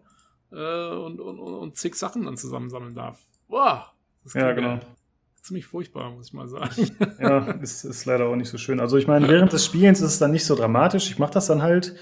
Aber äh, es ist ja keine gute ja. Designentscheidung, finde ich. Es passt ja. nicht wenn du schon allein sagen musst, ich mach das dann halt. Das sagt ja im Prinzip schon alles aus. Ja. Na gut. Ja, und das, äh, was auch schade ist, dass es diese, also Sachen zum Einsammeln oder irgendwelche Dinge, die du finden kannst, das hast du dann tatsächlich auch nur an Orten, die entweder auf der Karte markiert sind oder wo du, ja, ich meine, gut, die sind auch markiert, aber dann in Städten oder so. Also dann ist es halt so im nahen Umfeld. Aber das kann jetzt, ist, ich habe es glaube ich noch nicht erlebt, dass ich zum Beispiel einfach mal an so ein paar Lagerhallen vorbeifahre, okay, ich gehe da mal rein und ich finde da was. Einfach so. Mhm. Das gibt's nicht. Also es, eigentlich sind Gebäude auch nur zu betreten, wenn da NPCs drin sind oder wenn du da eine Mission hast oder wenn da eben so ein Außenposten ist, wo du irgendwas zu erledigen hast. Ansonsten sind die mit Brettern vernagelt und das war's. Und also du kannst eigentlich, es gibt keine richtige Exploration in dem Genau. Sinne. Gibt's leider nicht wirklich. Hm, manchmal gibt es halt so Missionen, wie gesagt, aber das sind auch wieder innerhalb der Mission, dass du halt, äh, da ist halt ein toter Ranger und du musst irgendwie in das Gebäude reinkommen, dann musst du da äh, irgendwie durch ein Fenster reinluken und musst auf so einen elektrischen Schalter zum Beispiel schießen, damit sich eine Tür öffnet oder so. Manchmal gibt es so Mini-Mini-Rätsel. Und das ist auch ganz nett, aber das ist tatsächlich schon das höchste der Gefühle, wo du dann irgendwie mal in Innenräume reinkommst. Und das ist ein bisschen schade, muss ich sagen. Und äh, auch in der Umwelt gibt es auch so einfach nichts zu entdecken. Also du hast dann zwar, wenn du mit dem Fahrzeug fährst, dann hast du öfter mal, dass am Straßenrand ein Fahrzeug steht, wo drei Mutanten stehen. Oder dass da ein ausgebranntes Fahrzeug steht, wo ein bisschen Munition liegt. Und das ist tatsächlich auch spielerisch sinnvoll. Denn manchmal raucht eben das Fahrzeug ab oder du brauchst Munition und dann kommst du halt da vorbei und das ist gut gekennzeichnet. Du gehst da hin und holst dir das eben. Äh, ich, ich, hatte auch schon den Moment, äh, ich brauchte Munition und da war eben so ein ausgebranntes Fahrzeug. Ich bin kurz ausgestiegen aus meinem Auto und bin da auf die Kiste zugegangen und man schlägt die halt immer kaputt und dann kommen da die Sachen raus. Dann habe ich die Kiste kaputt gehauen und da kam so ein Mutant rausgesprungen. das fand ich okay, ziemlich cool. das ist schon wieder cool. Äh, das war ganz witzig. Ähm, ja, ansonsten kann man sich aber auch jederzeit ein Fahrzeug zum Beispiel rufen und man kann auch Schnellreise machen, das hatte ich aber schon kurz gesagt, aber es gibt sehr wenig Punkte, an die man die Schnellreise machen kann. Also es gibt halt ein paar Städte, es gibt diese äh, Mutant Bash Arenen, die man schon aus dem Vorgänger kennt, wo dann eben so Kämpfe übertragen werden im Fernsehen äh, oder für die Zuschauer da vor Ort wo man eben sich gegen Mutanten schlägt und da einfach so eine Währung einsammelt und äh, ja, Highscores knacken kann. Das ist aber alles offline, also ich habe noch keine Online-Komponente gefunden. Ähm, ja, und also Schnellreise ist nicht besonders effektiv, muss ich dadurch sagen. Und dann hat man halt die Option, dass man mit seinem Fahrzeug da rumbrettert. Und ja, das geht so. Olli? Ja, was ich eigentlich mir so ein bisschen vermisse, ich hatte eigentlich mal ganz coole Sequenzen gesehen gehabt, äh, von der Story her, wo du so eine ziemlich bizarre Dame getroffen hast mit so ein paar, ja, wie soll man das nennen? Das war so, so, so ein Etablissement, ne? Mhm. Und sie, ich weiß nicht, ob du schon da warst im Laufe, Laufe der Story da. Und das sah eigentlich ziemlich, ziemlich interessant aus eigentlich. Aber das, irgendwie habe ich jetzt den Eindruck, dass die Story gar nicht so großartig lang ist und ähm, dann doch eher höhepunktsarm eigentlich eher. Weil, ja. also bei den Ausschnitten, die ich gesehen hatte, wirkt das eigentlich ganz cool. Aber vielleicht waren das auch schon die Höhepunkte, die es da halt gibt, so, ne? Die man so halt mal sehen konnte, überhaupt. Also für mich klingt das so ein bisschen so, als würdest du von diesem Mutant Bash reden. Waren das so diese, also sie saß in so einem Stuhl mit so einer Federbohrer genau, und ist dann Genau, rauchen. genau, genau. Genau, ja, ja, das gibt dann so exzentrische Charaktere. Da gibt es auch noch ein paar andere Nebencharaktere, die Mhm. so gestaltet sind. Und auch ein, zwei Hauptcharaktere sind ganz cool. Vom Aussehen oder von dem, was sie sagen. Aber es ist jetzt nicht so, dass sie äh, einen großen Eindruck hinterlassen oder irgendwie dauerhaft wertvoll wären für mich so. Das ist Mhm. halt nie so. Das ist halt immer oberflächlich und meistens ist es irgendwie abgedreht, schrill und auch kurz unterhaltsam. Aber es ist nicht so, dass mir da irgendwer bisher ins Herz gewachsen ist. Das ist so die Sache. Ähm, ja, zur Fahrphysik wollte ich noch was sagen oder zu den Fahrzeugen generell. Es gibt relativ viele Fahrzeuge. Man kann die Fahrzeuge auch über das Menü anfordern einfach. Es kostet dann einen kleinen Geldbetrag und die werden einem geliefert, was tatsächlich ganz nützlich ist, wenn man eben mal in der Pampa ist und dann ohne Schnellreise feststeckt. Hm. Die Fahrzeuge können ausgerüstet, äh, aufgerüstet werden, also mehr Panzerung, andere Waffen, mehr Boost und so weiter und so fort. Also da gibt es schon so ein paar Sachen. Das Fahren an sich ist auch okay. Ich habe auch mal ein Rennen gemacht, einfach nur testweise. Das war auch in Ordnung. Ist jetzt aber nichts, was mir persönlich so viel gibt. Deswegen ist es in Ordnung, es ist okay implementiert. Man kann auch zum Beispiel auch so Konvois überfallen, wo, wobei mein Fahrzeug ein bisschen schwach dafür war und ich habe dann äh, die verfolgt und dann habe ich gemerkt, oh, ich hatte keine Munition mehr. Das war mir vorher noch nie passiert. Ich habe anscheinend 2000 Schuss auf die verballert und habe die nicht kaputt gekriegt. Ja, dann hatte ich aber das Glück, dann habe ich sie äh, weiter verfolgt, ohne schießen zu können. Dann hat sich der Konvoi, das war so ein langer LKW mit mehreren Kanonen drauf und der hatte so mehrere Panzer als Geleitschutz. Und der hat sich dann irgendwie total verhakt und war eingeklemmt, äh, quasi wie in der Austin Power Szene, falls ihr das kennt, als er das Fahrzeug wenden will. Und dann äh, hing das Fahrzeug da so fest und dann habe ich die alle einfach äh, mit normalen Waffen fertig gemacht, was ein bisschen absurd war. Aber das hat dann funktioniert. Hast du viele Bugs wie sowas jetzt in der Art? Weil das klingt ja eher nach einem, nach einem Bug als irgendwas anderem, was da passiert ist mit dem Konvoi. Ja, genau. Äh, nee, besonders viele Bugs habe ich nicht gefunden. Also es gab schon mal, dass ein NPC irgendwie in ein Gebäude reingebackt war, wo ich dann aber zum Glück von oben noch reinschauen konnte. Also ich hatte noch die Möglichkeit, äh, ihn da anzuvisieren. Ich hing auch schon mal an ein, zwei Stellen selbst fest, aber ich konnte mich dann immer befreien. Also es war jetzt nie so, dass es äh, extrem war. Und ja, ich finde sowas auch okay beim Open-World-Spiel. Da muss man halt schon mal damit rechnen, dass solche Dinge passieren. Das kennt man ja selbst von GTA oder anderen High-Class-Titeln. Von daher finde ich das ganz okay. Aber hängende Sounds hast du nicht gehabt, weil ich habe an einen Streamer, den ich halt geguckt hatte, der hat auf der PS4 offensichtlich gespielt und hat ganz häufig gehabt, dass sein Waffensound an einer bestimmten Stelle quasi in der Landschaft dann hängen blieb Mhm. und er ist da weggelaufen von und seine Waffe war dann halt stumm, weil es äh, akustisch hat das Gewehr dann halt, ja, da zuletzt geschossen, wo es dann hängen geblieben ist, dann, wenn er ausgelöst hat. Das war ein bisschen kurios. Nee, das hatte ich zum Glück nicht. Okay, naja. Jetzt halt, hast du den Stream direkt nach Release geschaut oder wie war das? Äh, Nee, jetzt heute habe ich den gesehen, aber Okay. ich weiß nicht, von wann er ist. Vielleicht ist er ja auch vielleicht nach Release, kann ja sein. Also, Ja, ich weiß jetzt nicht. Ich habe nicht geguckt. Ich habe nicht geachtet, wann er jetzt war. Hm, okay. Nee, das ist mir zum Glück nicht passiert. Ich überlege gerade, ich hatte mir ein paar Sachen aufgeschrieben. Ähm, ja, machen wir erst kurz durch die technischen Aspekte so ein bisschen. Das sind zwar nicht direkt Bugs, aber ich fand die ein bisschen komisch. Äh, zum einen, was ich vorhin schon kurz gesagt hatte, man muss Knöpfe gedrückt halten, um Sachen zu machen. Also es ist mal wieder die typische Konsolensteuerung. Ich möchte eine Leiter hochdrehen, hochgehen, okay, dann muss ich erstmal eh eine Sekunde gedrückt halten, bis der Balken voll ist, der mir anzeigt, dass ich den Knopf Ja, drücke.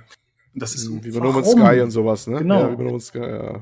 das ist ein cooles Spiel. Ja, es hat einen schnellen Gameplay-Flow und dann bin ich da in so einer Basis und das Problem ist auch, wenn ich könnte eigentlich die Leiter teilweise schon einfach mit einem Doppelsprung erklimmen oder ich könnte an die Leiter dran springen. Geht nicht. Und wenn man diesen Doppelsprung machen will und sich oben einfach an der Kante festhalten will, wo die Leiter endet, dann geht das nicht. Weil da ist anscheinend kein Greifpunkt sozusagen vom Spiel hinterlegt, weil die Leiter im Weg ist oder was. Das heißt, okay, E gedrückt halten, danke, zwei Sekunden die Leiter hochklettern, juhu, ich hab's geschafft, obwohl ich ein Supersoldat bin und eigentlich fünf Meter hoch springen kann, so grob gesagt. Das ist halt einfach dumm, unnötig und nervig. Ich habe auch, ganz ehrlich, ich habe nie verstanden, wieso Konsolen das immer brauchen. Dieses halte irgendwas gedrückt. Ist es, falls mal, falls einer auf den falschen Knopf vom Gamepad kommt? Nee, ich glaube, das hat mit einer Doppelbelegung vielleicht zu tun. Das könnte ich mir vorstellen, dass man an manchen, also man hat ja nur eine beschränkte Anzahl an Knöpfen und dass man äh, vielleicht dann verhindern will, dass man was anderes macht. Das wäre meine Idee dazu. Ja, und äh, das gibt's dann auch bei Fahrstuhlknöpfen, ja, muss man auch wieder gedrückt halten zum Beispiel. Und das ist halt einfach unnötig und eine schlechte Portierung. Das nervt mich ziemlich.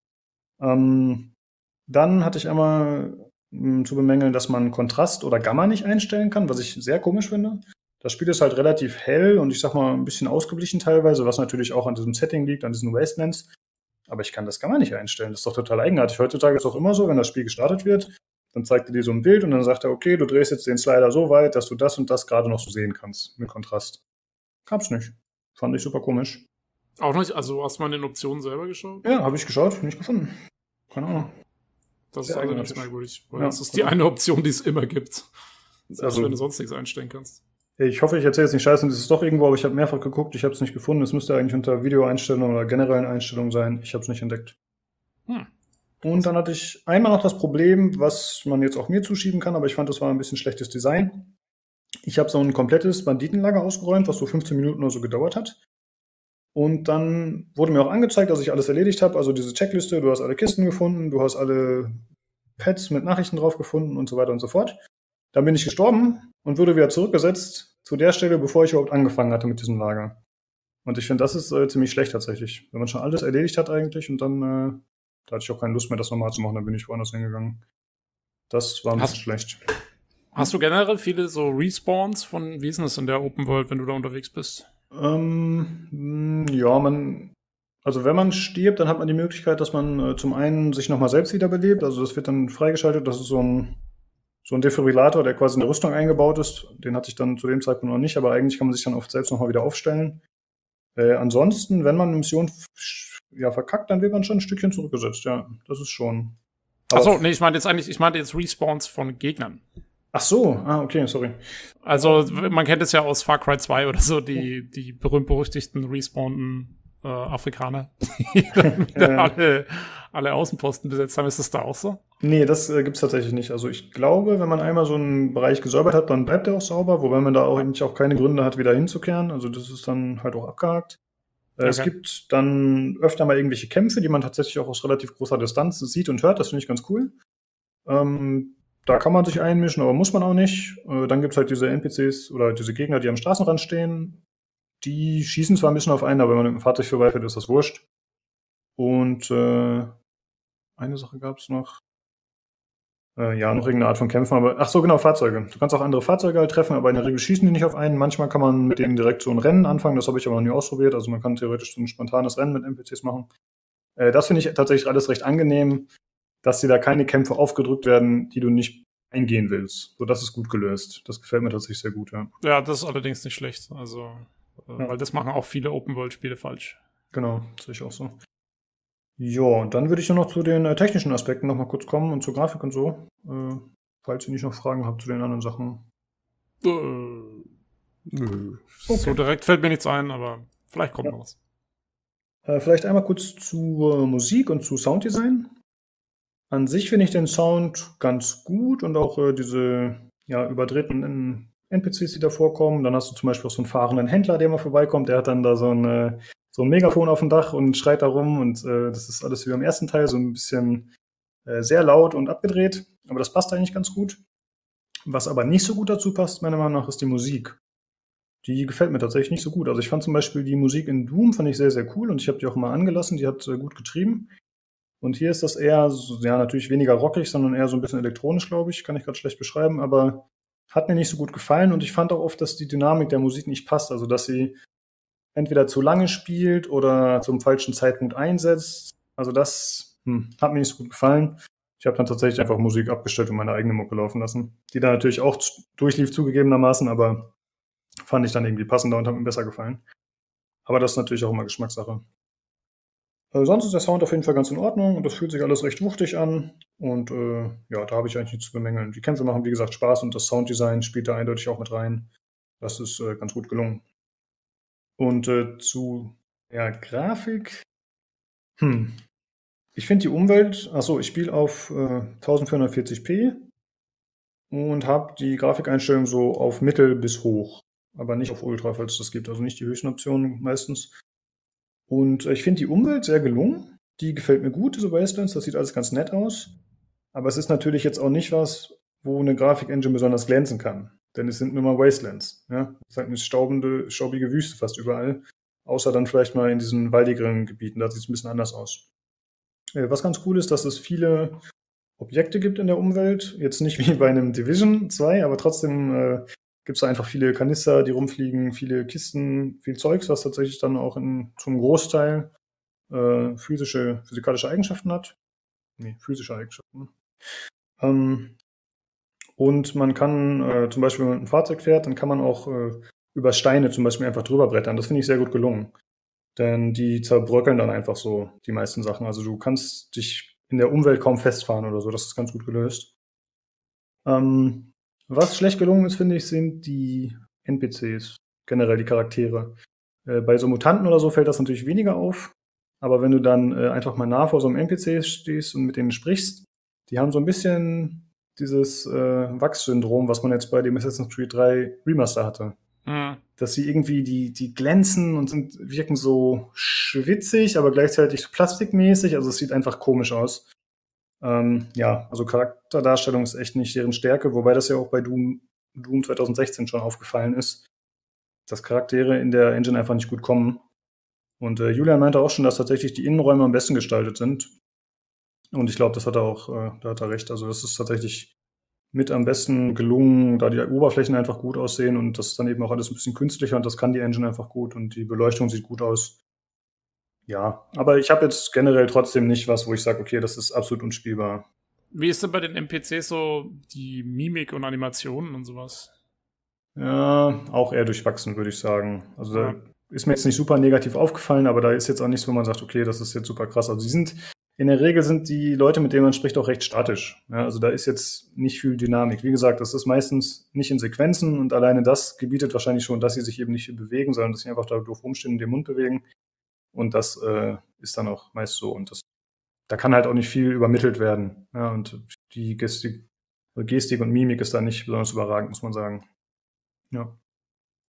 Ähm, die Performance ist ziemlich gut, muss ich sagen. Ich kann mir leider, wie gesagt, nicht die Frames anzeigen lassen in äh, dem doofen Launcher oder im Spiel. Und leider hat Fraps auch nicht mitgespielt, deswegen kann ich da jetzt nicht so eine Aussage zu treffen, aber es läuft schon ziemlich gut. Also ich würde sagen, es ist. Hast du, hast du keine Nvidia-Grafikkarte? Äh, doch, habe ich. Kann man das da über Shadowplay oder Experience du einblenden? Kannst lassen? über Experience, ja. Oder kannst oh. du die Frames anzeigen lassen. Das hätte ich jo. mal machen sollen. Das war übrigens auch der Weg, wie ich Screenshots machen musste. Denn wenn man, äh, also wie gesagt, mit dem Bethesda-Ding ging es nicht. Und wenn man einfach nur drucken drückt, womit man ja auch einfach ein Bild vom aktuellen Screen machen kann, und wenn man das dann einfügen will irgendwo, dann hat man komischerweise den Pausebildschirm. Das war super strange. Anscheinend, wenn man. Okay.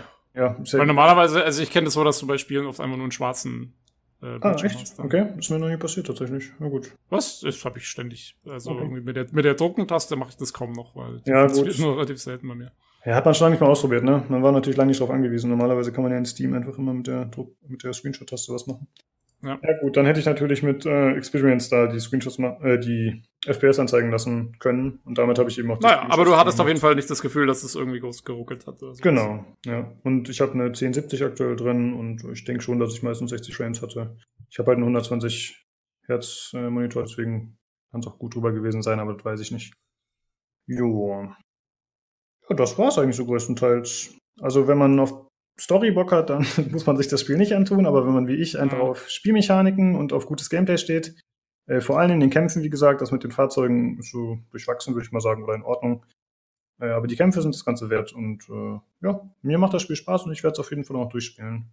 Und da kommt, spielt mir vielleicht auch in die Hände, dass es von der Story her gar nicht so lang ist. Und dann kann ich einfach mir noch den Arsch abgrinden. Wenn ich alles freigeschaltet habe, dann beende ich die Story.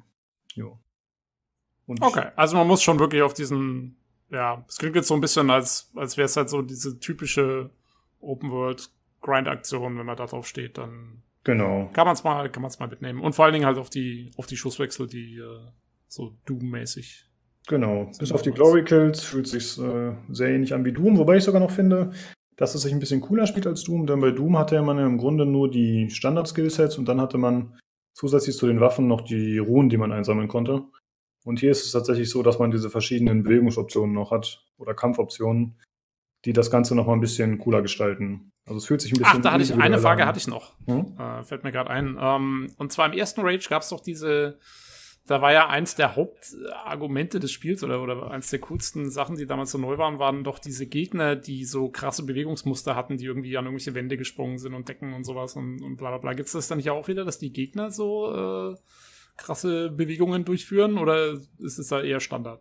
Äh, das gibt's weiterhin bei den Mutanten. Also die menschlichen Gegner, die eben dann auch in der Regel Fernkampfwaffen einsetzen, die sind nicht so pfiffig, aber die Mutanten machen das schon noch und ich denke mal, das ist auch das gleiche oder ähnliche Modell, wie es bei Rage 1 auch schon war. Also wenn man zum Beispiel, wenn man diesen Bumerang wirft, diesen Wingstick, dann kann es gut sein, dass der Mutant einen Sprung zur Seite macht oder dass er, wenn er dich angreift, dass er dann mal kurz an die Wand springt, so wie das im ersten Teil auch war und dann auf dich Ja. losgeht. Das Okay, ist tatsächlich. also das- äh, hm? Das gibt's noch. Genau, das ist äh, weiterhin so implementiert und das ist auch ziemlich cool. Aber es ist nicht so präsent wie im ersten Teil, da wie gesagt diese Mutantenkämpfe zum Glück und vor allem diese, diese Abwasserkanalkämpfe oder diese äh, Dungeons-Höhlen nicht so präsent sind. Aber das finde ich auch sehr gut. Mir gefällt das so besser. Ja. Äh, ja, ab und zu gibt es noch Bosse, genau, das war im ersten Teil auch. Äh, gibt es hier auch wieder, aber so viele habe ich noch nicht gesehen. Ähm, es gibt auch immer so wiederkehrende Minibosse, die dann eben auch so Sidequests sind, beziehungsweise äh, Abhak-Missionen auf der Minimap. Äh, das ist auch ganz cool, aber auch jetzt mittlerweile schon nicht mehr die große Herausforderung. Jo. Äh, gut, ich würde sagen, das war's zu Rage 2 und auch mit der heutigen Folge. Wenn jemand noch äh, Fragen zu Rage 2 hat oder zu den anderen Themen oder auch Feedback oder auch selbst an der nächsten Folge teilnehmen will, eventuell, äh, vielleicht auch, wenn wir über A Plague's Tale Innocence sprechen, äh, falls da jemand was beitragen möchte, könnt ihr euch gerne bei uns melden. Ansonsten äh, könnt ihr uns erreichen über äh, per E-Mail über pcgcpodcast.gmail.com, unter Twitter mit äh, dem Handle podcastpcgc. Äh, Im pcgames.de Forum haben wir unseren eigenen Thread oder aber ihr findet die Informationen äh, zu unserem Discord auch dort und die findet ihr auch bei Soundcloud und Spotify. In diesem Sinne, vielen Dank fürs Zuhören und schaltet gerne auch beim nächsten Mal wieder ein zum PC Games Community Podcast. Ciao! Tschüss. Tschüss.